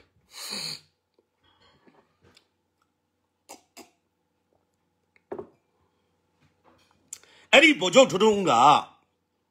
ကျွန်တော်သူနဲ့ဆက်ဆံရတဲ့အချိန်မှာကျွန်တော်တကိုယ်ရည်လေးလာကြည့်အရာဆိုရင်သူကပြောင်းလဲခြင်းနဲ့စိတ်ရှိတယ်ကျွန်တော်တို့ကနော်အမှန်ကိုအမှန်တိုင်းပဲသုံးသပ်ပြရမှာပဲအဲ့တော့ဘာဖြစ်လဲဆိုတော့သူကပြည်တော်စုရှင်းနေကြုံလုံနေတဲ့အချိန်မှာပြည်တော်စုရှင်းနေကြုံယုံနဲ့ကျွန်တော်တို့လူအခွင့်အရေးဆိုင်ရာတွေတရားဥပဒေစိုးမိုးရေးဆိုင်ရာတွေကျွန်တော်တို့သင်တန်းပေးမယ်ဆိုရင် ဆက်သွယ်ရတာလွယ်ကူမြန်ဆန်ချောမွေ့တယ်အဲ့တော့ဒေါ်တီယာဦးကအဲ့ဒီချိန်တုန်းကရှေ့နေချုပ်ဟိုညွန့်ချုပ်ညွန့်ချုပ်ဖြစ်နေအထက်မှာဟိုအမြဲတမ်းတွန်းဝင်ရှိတယ်အဲ့ဒါအဲ့ဒီအမကဟိုဟာအရက်သားပါပဲအခုတော့လူခွေရေးဌာနကူအဲ့မှာကော်မရှင်အဖွဲ့ဝင်ဖြစ်လာမသိဘူးပြောင်းသွားပြီနော်ပြောင်းသွားပြီပေါ့ဆိုတော့အဲ့ဒါနဲ့ဒေါ်တီတာဦးကညွန့်ချုပ်ကနေပြီးတော့အမြဲတမ်းတွန်းဝင်ဖြစ်စစ်ခွေးမင်းအောင်လိုင်ကနော် ကျွန်တော်တို့ပြောင်းလဲခြင်းနဲ့စိတ်ဆန္ဒရှိတဲ့ဗိုလ်ချုပ်ထွန်းထွန်းကိုဖယ်ပလိုက်တော့ဒေါ်တီတာဦးကအဲ့မှာရှင်းနေချုပ်ဖြစ်လာပြီးတော့အခုတို့ကဝင်ကြီးဌာနအဖြစ်ပြောင်းတဲ့အခါကျတော့ဟိုကျွန်တော်ဥပဒေဝင်ကြီးလားမသိကျွန်တော်မသိတော့ဘူးเนาะအဲ့ဒါဖြစ်လာတယ်ပေါ့ဒါဒါဒေါ်တီတာဦးရဲ့ရာဇဝင်အဲ့တော့ဦးထွန်းထွန်းဦးရဲ့ရာဇဝင်ဒီဘက်ကဗိုလ်ချုပ်ထွန်းထွန်းဦးကเนาะကျွန်တော် credit ပေးတယ်ကျွန်တော်တယောက်တည်းအမြင်ရဆိုရင်ပြောင်းလဲခြင်းနဲ့စိတ်ဆန္ဒရှိတယ်သူစ조사ခဲ့တော့တော့เนาะအဲ့ဒီမှာကျွန်တော်တို့တွေ အဲ့ဒီအောက်ထဲမှာရှိတဲ့မတရားဥပဒေအရာရှိတွေလေဥပဒေရဲ့ရှင်းနေတွေကကျင့်ဝတ်သိက္ခာပြတ်ရွံ့ပြီးတော့စစ်ခွေးတွေအောက်မှာဒူးထောက်ပြီးတော့စစ်ကြုံခံနေတဲ့အတွက်ခမည်းတော်လေကိုကူဥပဒေအရာရှိအဖြစ်ဘယ်တော့မှမခေါ်နဲ့အဲ့တော့အရက်တရခေါ်တယ်လို့ပဲခမည်းတော်ဒီလေမတရားဆွဲချတယ်အဲ့တော့ ပြည်သူကိုဖိနှိပ်ဖို့ဒေါက်တန်နေအဖြစ်ရက်တည်နေတဲ့ကုဏကမတရားယုံနေမတရားဥပဒေယုံနေမတရားဥပဒေအရာရှိဆိုတဲ့ဆွဲချဆိုတဲ့ကောင်နေမတရားသူကြီးတွေနော်စီပင်ကတက်ပြုတ်တွေအမြဲတမ်းအတွင်းဝင်နေပြည်သူကခမားတို့ကိုစောင့်ကြည့်နေတယ်အဲ့တော့ပြည်သူတွေကခမားတို့ကို ပြည်သူတရားစီရင်နဲ့သူ့ဘာသူစီရင်လိမ့်မယ်ခမားတို့လက်ရောက်လာလိမ့်မယ်နော်အေးအဲ့ဒီချိန်ကြရင်တို့ပြည်သူဓမ္မဘတ်တော်သားတွေကဘာလုပ်လဲကြည်လေနော်ကြည့်ကြည့်လိုက်ဆိုတော့ကျွန်တော်ဆက်ပြီးတော့တင်ပြလို့ရှိရင်အဲ့တော့မြန်မာပြည်ရဲ့တရားရေးနဲ့မြန်မာပြည်ရဲ့ဥပဒေရေးရမှာနော်ဥပဒေရေးရမှာအဲ့လိုချုပ်ထိန်းထားတယ် ပြန်ကြားရေးဝန်ကြီးဌာနမှာဝန်ထမ်းအားလုံးကိုမမှန်သတင်းတွေပြောတဲ့အတွက်အဲသူအလုတ်ဖြုတ်ပေးပါအာမှန်တာပေါ့ဗျာကျွန်တော်ပြောပြမယ်လက်ရှိစစ်ခွေးအောက်မှာနော်သစ္စာခံပြီးတော့နော်လုံနေတဲ့ကောင်တွေအကုန်လုံးကတော့ပင်စင်ပေးရမှာပဲပင်စင်ကတော့၃မျိုးလောက်ရှိလိမ့်မယ်ထင်တယ်ရိုးရိုးပင်စင်ရယ်နော်အခန်းချင်းပင်စင်ရယ်လားပင်စင်ရယ်၃မျိုးတော့ရှိမှာပေါ့ဗျာ အဲ့ဒါကတော့ဘီသူကသူ့ကသူဆုံးဖြတ်ပါလိမ့်မယ်နော်အထူးသဖြင့်ကတော့အမြဲတမ်းတွင်းဝင်ဆိုတဲ့ကောင်တွေစီပင်ရဆိုဌာနမှုဆိုတဲ့တက်ပြုတ်တွေဟဲ့ရောက်တယ်မင်းတို့ကောင်တွေကြားလားနော်မင်းတို့ကောင်တွေအကုန်လုံးဘီသူကလားပင်စင်ပေးမှာအဲ့တော့ကျွန်တော်ဘီသူတွေအားလုံးကိုတင်ပြချင်ပါတယ်နီးစက်ရနီးစက်ရနီးစက်ရနော်စစ်ခွေးရဲ့တောက်တိုင်ကြီးနော်အကောင်ကြီးကြီးတွေစီးပွားရေးတောက်တိုင်ကြီးနော်ဗျူရိုကရေစီရန်ရရဲ့တောက်တိုင်ကြီးပြူတွေ နော်အားလုံးကိုကျွန်တော်တို့တွေလာပစ်စင်ပေးကြရအောင်ကျွန်တော်တို့ဝိုင်းပြီးတိုက်ကြရအောင်နော်မြမဘီအနက်မှာစစ်မီးတွေတောက်လောင်နေပါတယ်ဒီစစ်မီးတွေတောက်လောင်နေတဲ့အတွက်ကျွန်တော်တို့ပြည်သူတွေအားလုံးမြို့ပြကောခြေလက်ကောမြမဘီအနက်ကျွန်တော်တို့တွေအမြဲတမ်းအမြဲတမ်းတော်လန်နေကြရမှာပါပူးပေါင်းနေကြရမှာပါဒါကြောင့်မလို့ကျွန်တော်တို့ပြည်သူစစ်စစ်တွေနော် ကြာရတာဝန်ကိုယူပါကြာရတာဝန်ကိုခြေပါရန်သူကိုခြေမုံးပါနော်စစ်ခွဲတွေကိုလားပစ်စင်ပေးပါတောက်တိုင်တွေကိုလားပစ်စင်ပေးပါရန်သူရဲ့စီးပွားရေးပြစ်မှတ်တွေမဟာဗျူဟာမြောက်ပြစ်မှတ်တွေအားလုံးကိုကျွန်တော်တို့ခြေမုံးတာဒီတရားပါတယ်နော်ခြေမုံးပေးကြပါလို့ကျွန်တော်အနေနဲ့တင်ပြခြင်းပါတယ်နော်ဒါပြင် နော်ခုနကတော့တရားရေးမန်တိုင်းဥပဒေရေးမန်တိုင်းဝန်ထမ်းဌာနအသီးသီးကိုအသွင်ပြောင်းဆိုပြီးတော့မိုးကြရွှေကိုတွေခန့်နဲ့နော်လှုပ်စားရိုက်စားနော်နော်ဝန်ထမ်းရွေးချယ်လေးချယ်ရေးအဖွဲ့ဆိုတဲ့ကောင်းနေအဲ့ဒီအဖွဲ့ကြီးကိုဖျက်ဆီးပြရမယ်မြန်မာပြည်ရဲ့ဝန်ထမ်းကို reform ကိုပထမဆုံးလုပ်ပြရမယ်ဥပဒေကိုအခုကလေးကနော်လွတ်တော် အမတ်တွေအခုကလေးကအခုကလေးကဥပဒေကိုပြည်သူမျက်နှာပဲကြည့်ပြီးတော့ကြော်ပြီးတော့ပြင်ဆင်ထားရမယ်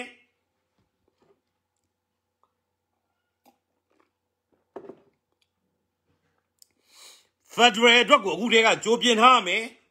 အခုတည်းကတိုင်းသားတွေနဲ့ကျွန်တော်တို့သေချာနားလည်မှုတွေယူထားရမယ်နော်ကျွန်တော်တို့ကတော်လိုင်းအစိုးရဖြစ်တယ်စစ်ဖြစ်နေတာဖြစ်တယ်ကျွန်တော်တို့ကတိုက်စစ်နဲ့သွားမယ်အဲ့တော့တော်လိုင်းအစိုးရဖြစ်တဲ့အတွက်တော်လိုင်းနဲ့တိုက်ပွဲနဲ့ အဲ့ဒါအတွက်ကိုတော်လိုင်းအတွက်ကိုအဲ့ဒါကိုကျွန်တော်အဓိကသွားဖို့လိုတယ်နော်ဒါလေးကိုကျွန်တော်တင်ပြခြင်းနဲ့ NUG ရဲ့လှုပ်ဆောင်ချက်အနေနဲ့ကျွန်တော်တို့အဓိကကြည့်ချင်တာကအားကိုးချင်တာက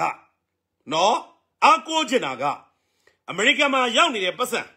ကိုယ့်လက်ထဲရအောင်ပြန်လုပ်ပြီနော်ကျွန်တော်တို့ရဲ့တော်လိုင်းရဲဘော်တွေဒေသသီးသီးမှာလက်နက်တွေလူနေတယ်အဲ့ဒါကိုတက်ဆင်ပေးနိုင်အောင်ကြိုးစားနော်နိုင်ငံတကာကနေလက်နက်ရအောင်ကြိုးစားပေးအဲ့တော့ ဘာ ICJ မှဘာ ICC မှတောက်ယူဆိုင်စရာမလိုဘူးနော်အဲ့လောက်ရရင်ရပြီအဲ့တော့မြေပြင်မှာရှိတဲ့ပျောက်ကြားတပ်ဖွဲ့တွေမျိုးပြပျောက်ကြားတွေနော်ခင်ဗျားတို့ရှိမှအဆက်အသွယ်မရှိဘူးလားကျွန်တော်ကူညီပေးမယ်အများကြီးပဲကျွန်တော်တို့ဆက်သွယ်ထားတာရှိတယ်အရေးကြီးတာမြေပြင်မှာတကယ်လုံနေတဲ့အဖွဲ့တွေရှိကိုအရေးကြီးတဲ့အကြောင်းအရာတွေရှိကိုလက်နဲ့ရောက်သွားဖို့လိုတယ်အဲ့ဒါလေးကိုကျွန်တော်တင်ပြချင်တယ်ဒါ NUG ကပုံကိုယ်တွေကိုကျွန်တော်တို့အားကိုးချင်တယ်ဆိုတာအဲ့ဒါပဲ နော်အဲ့ဒါနဲ့ပတ်သက်ပြီးတော့လှုပ်ပေးနိုင်ဖို့ကိုအားကိုးချင်တယ်နော် CRPH နော်လွတ်တော်ကိုစားပြုကော်မတီအဲ့ဒါအနေနဲ့ကကျွန်တော်တို့နောက်အနာဂတ်မှာနော်ကျွန်တော်တို့ဥပဒေတွေပြဋ္ဌာန်းတာတွေပြတ်သွားတွေအတွက်ကိုကြိုပြီးတော့ပြင်ဆင်ထားပြီးတော့လှုပ်ထားရမယ်ဖက်ဒရယ်နဲ့ပတ်သက်ပြီးတော့လှုပ်ထားရမယ်ဒါတွေအားကိုးချင်တယ်နောက်တစ်ချိန်မှာကျွန်တော်တို့တွေလွတ်တော်တွေလှုပ်ပြီဆိုလို့ရှိရင်နော်ပါတီကခွင့်ပြုတဲ့မေးခွန်းမဲ့မေးရမယ်ဆိုတဲ့ရာဇဝင်ဘုတ်ဘယ်တော့မှထပ်မဖြစ်အောင်ကျွန်တော်တို့လုပ်ရမယ် ဘာကြောင့်လဲမြန်မာပြည်မှာဒီမိုဒီမိုကရေစီကိုထွန်းကားစေချင်ရင်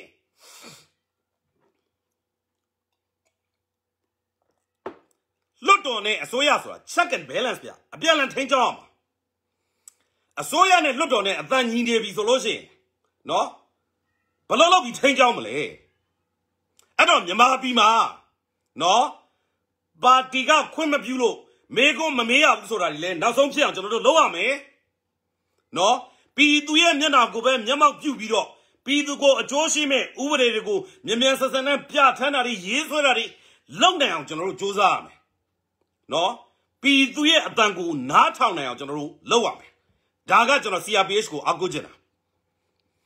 NLD ကိုအားကိုးချင်တာက NLD ဒီမြေပြန့်ဒေသတွေမှာအားကောင်းတယ်နော်တိုင်းသားဒေသတွေမှာလည်းနိုင်ပါတယ် KNP နေမှာဆိုလဲ anti don နန်ခင်ထွေးမြင့်တို့ဘာလို့နိုင်နေချင်းမှာဆိုလဲနိုင်တယ်ဟုတ်ပါတယ် ဆိုတော့ကိုဒေသအသီးသီးမှာနော်ကိုယ့်ရဲ့ဒေသဆိုင်ရာပြည်သူတွေကိုနော်ခွန်အားဖြစ်ပါစေဗျနော်ကိုကိုယ်တိုင်ကကျွန်တော်တို့ဗျာစစ်မြေပြင်မှာကျွန်တော်မြင်ချင်တယ်ဗျလွတ်တော်အမတ်တွေဗျာနော်မြင်ချင်တယ်ဗျကျွန်တော်ပွင့်လင်းပြောပြတာဘာကြောင့်လဲကျွန်တော်တို့ငြိမ်းချမ်းတဲ့ကာလမှာကျွန်တော်တို့မြင်ရတဲ့သူရဲကောင်းကြီးတွေပစိုးကြောင်ကြိုက်နေတာအများကြီးပဲ တချို့ဆို election ပြီးတဲ့အခါကျတော့နော်အမေစုရဲ့မျက်နှာနဲ့မဲပေးလိုက်ပြီးတော့နိုင်လာတဲ့တချို့လွတ်တော်ကိုယ်စလဲလောင်းနေပေါ့ဗျာနော်တက်ပြီးငိုပြတဲ့လူတော့ရှိတယ်အဲ့ဒီပုံကိုကြီးဘယ်ရောက်နေလဲမသိဘူးကျွန်တော်ကသူ့မှတ်မိတော့တာငိုပြလို့နာမည်တော့မမှန်ပြီးတော့ဘူးနော်ငိုပြတဲ့လူတော့ရှိတယ်ဆိုတော့ဗျာနော်ဆိုတော့ဒီပုံကိုတွေကမြေပြင်မှာနော်ပြည်သူအတွက်မျိုးပြပြောက်ကြားတွေအတွက် ဒေသဆိုင်ရာကာကွယ်ရေးတပ်ဖွဲ့တွေအတွက် PDF တွေအတွက်တိုင်းသားတွေအတွက်ကိုခွန်အားဖြစ်ပါစေကိုကြောင့်တော့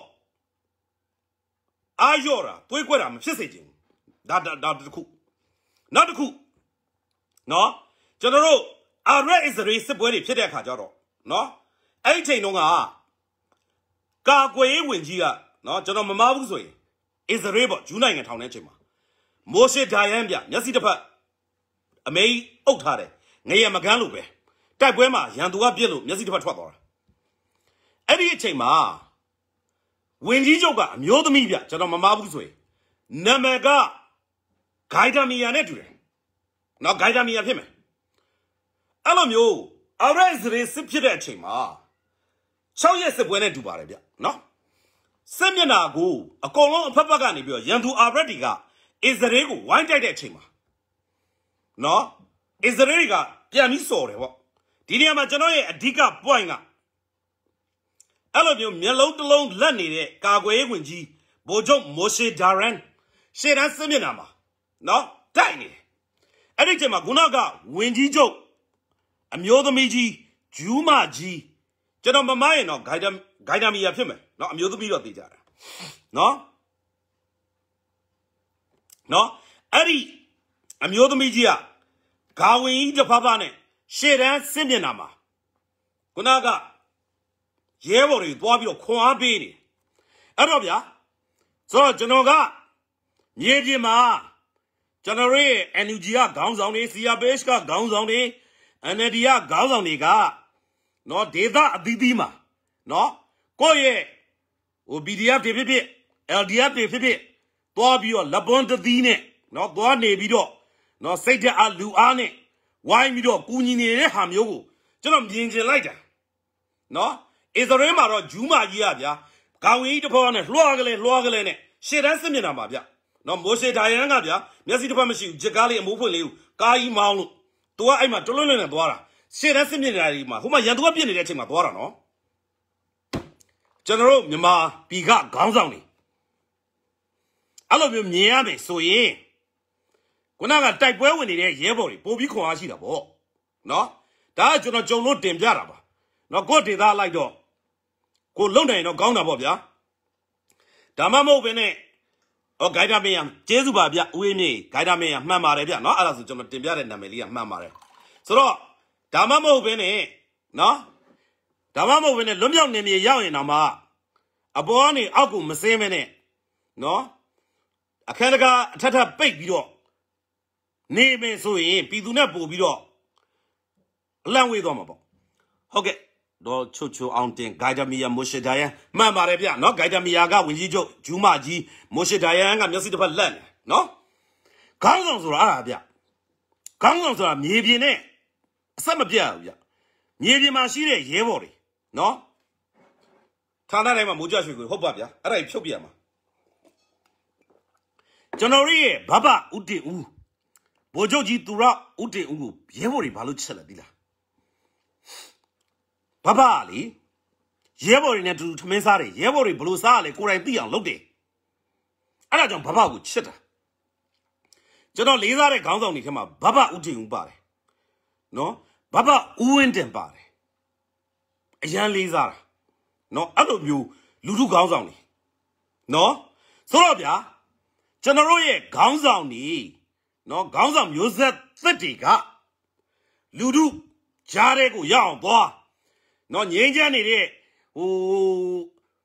မဲဆိုတဲ့ကာလမဟုတ်ဘဲနဲ့တကယ်တော်လိုင်းတိုက်ပွဲဖြစ်နေတဲ့အချိန်မှာပြတဲ့လူထုကြားတဲ့စင်းတဲ့အစင်းမျိုးနော်ကျွန်တော်ပြောရှေ့တန်းစင်းမျက်နှာကိုပြောတာအဲ့ဒါပြောပူတံမှုရှိတယ်နော်ဒါမျိုးကိုဘီသူကမြင်ချင်တာနော် အော်မိုးကြတရောင်းစားလို့ခေါ်ပေးပါတဲ့ရွှေကိုလို့မတန်လို့ပါဟုတ်ကဲ့ဗျကြော်ဖစ်စီကျေးဇူးပါဗျမိုးပေါ်ကြလာတဲ့စစ်ခွေးတရောင်းစားတွေဗျโอเคလားဗျမိုးပေါ်ကကြလာတဲ့စစ်ခွေးတရောင်းစားတွေဗျမိုးပေါ်ကကြလာတဲ့စစ်ခွေးတရောင်းစားတွေအကောင်တွေကိုကျွန်တော်တို့ကရှင်းထုတ်ပြရမှာမှန်တယ်ဗျနော်ဆိုတော့ကဗျဗျကျွန်တော်ပြောချင်တာကတလားအဲ့ဒါပဲဗျပြည်သူပါတီဆိုတာကအဲ့လိုနီးနဲ့ကျွန်တော်တို့ကတတ်တည်ပြရမှာ နော်တတ်တည်ပြရမှာဆိုတော့ကျွန်တော်ညီကုန်းချုပ်ပါတော့မယ်ညီကုန်းမချုပ်ခင်နော်ကျွန်တော်ဒီတမာကျန်းစာတဲကတချို့အပိုင်းလေးတွေပေါ့နော်နောက်တစ်ခါကျတော့ကျွန်တော်ဒီအနောက်ပိုင်းတိုင်းကပြောတဲ့ဟာလေးတွေပေါ့နော်ကောင်းတာလေးတွေအဲ့ဒါလေးတွေကိုကျွန်တော်နည်းနည်းတင်ပြခြင်းတယ်အဲ့ဒါကဘာလဲဆိုတော့ခွန်အားယူစရာပါနော်ခွန်အားယူစရာပါ ဆိုတော့အဲ့ဒါကဘာလဲဆိုတော့ကျွန်တော်ဖတ်လိုက်ရတာအဲ့ဒါကခေါင်းဆောင်တယောက်ပေါ့နော်ပုဂ္ဂိုလ်တယောက်ကသူ့တပည့်3ယောက်ကိုနော်3ယောက်ကို3ယောက်ကိုခေါ်လိုက်တယ်ခေါ်လိုက်ပြီးတော့အသပြပေးလိုက်တယ်ကျွန်တော်မိုင်းခွက်လို့နော်ကျွန်တော်မှတ်မိတဲ့လောက်လေးကျွန်တော်ပြောပြတာဆိုတော့ကျွန်တော်ဟိုဖတ်ပြီးဖတ်တော့ဖတ်ဘူးတယ်နော်ဒါကဟိုခရစ်ယာန်နေပို့သိပါလိမ့်မယ်နော်ကျွန်တော်မားနေတယ်ကျွန်တော်ကိုနည်းနည်းအောက်မှာ comment ရေးပြီးတော့ကျွန်တော်ကိုထောက်ပြပါနော် ဆိုတော့သခင်ကသူ့သခင်ကသူ့ရဲ့ငယ်သား၃ယောက်ကိုခေါ်လိုက်တယ်တဲ့နော်ခေါ်လိုက်တော့တယောက်ကိုအသက်ပြာဘယ်လောက်စီလဲ10ခုစီလားပေးတယ်ပေါ့နော်ထားပါတော့ပေးလိုက်တော့အမှငယ်သား၃ယောက်ကိုခေါ်လိုက်တယ်ခေါ်လိုက်ပြီးတော့ပေးလိုက်တဲ့ခါကျတော့ငယ်သားတယောက်ကဘာလုပ်လဲဆိုတော့အဲ့ဒီရလာတဲ့အသက်ပြာကိုနော်သူ့ရဲ့သခင်သူ့ရဲ့ဒီကနခေါင်းဆောင်ပေါ့ဗျာနော်သူ့ရဲ့ခေါင်းဆောင်ပေးတဲ့အတိုင်းမပြောက်မပြက်ရအောင်ဆိုပြီးတော့ မြေကြီးတွင်းထဲမှာမြုပ်ထားလိုက်နောက်တစ်ယောက်ကကြတော့သူကနှစ်ဆပွားအောင်လှုပ်လိုက်တယ်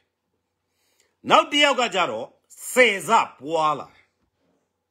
အဲ့တော့သူ့ရဲ့ခေါင်းဆောင်ကပြင်အောင်လာတဲ့အချိန်မှာ၃ယောက်လုံးကိုခေါ်မေးလိုက်တယ်သူတပည့်တွေကိုခေါ်မေးလိုက်တဲ့အချိန်မှာနော်အော်မကုနာကပေါ့အော်တခင်ပေါ့နော်ဆရာပေါ့ဆရာပေးရတဲ့အတိုင်းမပြောက်မပြက်ဒီမှာ၁၀ခုပြန်ပေးတယ်တယောက်က တယောက်ကနှစ်ဆပွားအောင်လုပ်တယ်တယောက်ကဆယ်ဆပွားအောင်လုပ်နိုင်တယ်ပေါ့နော်ဒါ variation ရှိနိုင်ပါတယ်ကျွန်တော်ပြောပြအဲ့တော့ခုနကပြောရန်လာတဲ့ခေါင်းဆောင်ကဘာပြောလဲဆိုတော့နော်ခုနကမပြောက်ပြအောင်ထိန်းထားတယ်ဆိုတဲ့ပုံကူကိုစူလိုက်တယ်နှစ်ဆပေးရတဲ့ပုံကူရှိရလဲသိမ့်လိုက်တယ်အစပေါင်းများစွာပွားအောင်လုပ်နိုင်တဲ့သူ့ရဲ့တပည့်ကိုအကုန်ပေးလိုက်ဆိုလိုချင်တာက ကျွန်တော်တို့တွေကနော်ကျွန်တော်တို့ရဲ့လူလူကောင်းဆောင်ကဟုတ်တယ်ရန်သူလက်ထက်မှာတော့တော့ကျွန်တော်တို့အားလုံးကခေါင်းဆောင်တွေဖြစ်တယ်ဆိုတော့ကျွန်တော်တို့ခေါင်းဆောင်တွေပြန်လာတဲ့အချိန်မှာကျွန်တော်တို့ကဒီတိုင်းလေးပဲထိန်းထားတဲ့လူလားဒါမှမဟုတ်ရှင်ခုနကအထူးသဖြင့်ပေါ့နော်ကျွန်တော်တို့ NLD ကခေါင်းဆောင်ငယ်တွေဒါမှမဟုတ်လွတ်တော်ကိုယ်စားလှယ်တွေကိုကျွန်တော်ခွန်အားပေးတာပါအဲ့ဒီခုနက NLD ကလွတ်တော်ကိုယ်စားလှယ်တွေကိုကိုအဓိကရည်ရွယ်ပါတယ်နော် ကျွန်တော်တို့ကခုနလိုဆယ်စလောက်ပွားအောင်လုပ်နိုင်တာလားဒါမှမဟုတ်ခုနကလွတ်တော်ကိုယ်စားလှယ်တော်ကြီးတွေကိုကြောင့်လူတို့ကထောက်ခံမှုကြောက်သွားမှာလားဒါကိုစဉ်းစားပါနော်ဒါကြောင့်မလို့ကျွန်တော်တို့တွေကအားလုံးလူလူလူတန်းစားဘောင်းစုံပါတီဘောင်းစုံလူမျိုးဘောင်းစုံအဖွဲ့အစည်းဘောင်းစုံကအကုန်လုံးကနော်ကျွန်တော်တို့စုပေါင်းပြီးတော့တိုက်ကြမယ်သေကြတယ်ကျွန်တော်တို့နိုင်ကိုနိုင်မှာဖြစ်တယ်လက်ရှိလေနိုင်နေတယ် ဒီအရေးတော်ပုံကြီးကကျွန်တော်တို့အောင်ကိုအောင်မှာဖြစ်တယ်ဒါကြောင့်မလို့ပြည်သူတွေအားလုံးနားဆွင့်ထားပါနော်အစင်သင့်ပြင်ထားပါကျွန်တော်တို့ဒီအဆုံးသက်တိုက်ပွဲကိုတကယ်ကိုမြမပြည်အနက်ထွေထွေထိုးစစ်ကြီးအပွင့်ကိုငါတို့တွေပါဝင်မရမှာပါလားငါပါမဒီအရောကြီးအောင်မြင်ပါပါလားဆိုပြီးတော့ဆုံးဖြတ်ချက်တွေနဲ့ကျွန်တော်တို့တိုက်ကြမယ်အရေးတော်ပုံမုတ်ချအောင်ကိုအောင်ရမယ်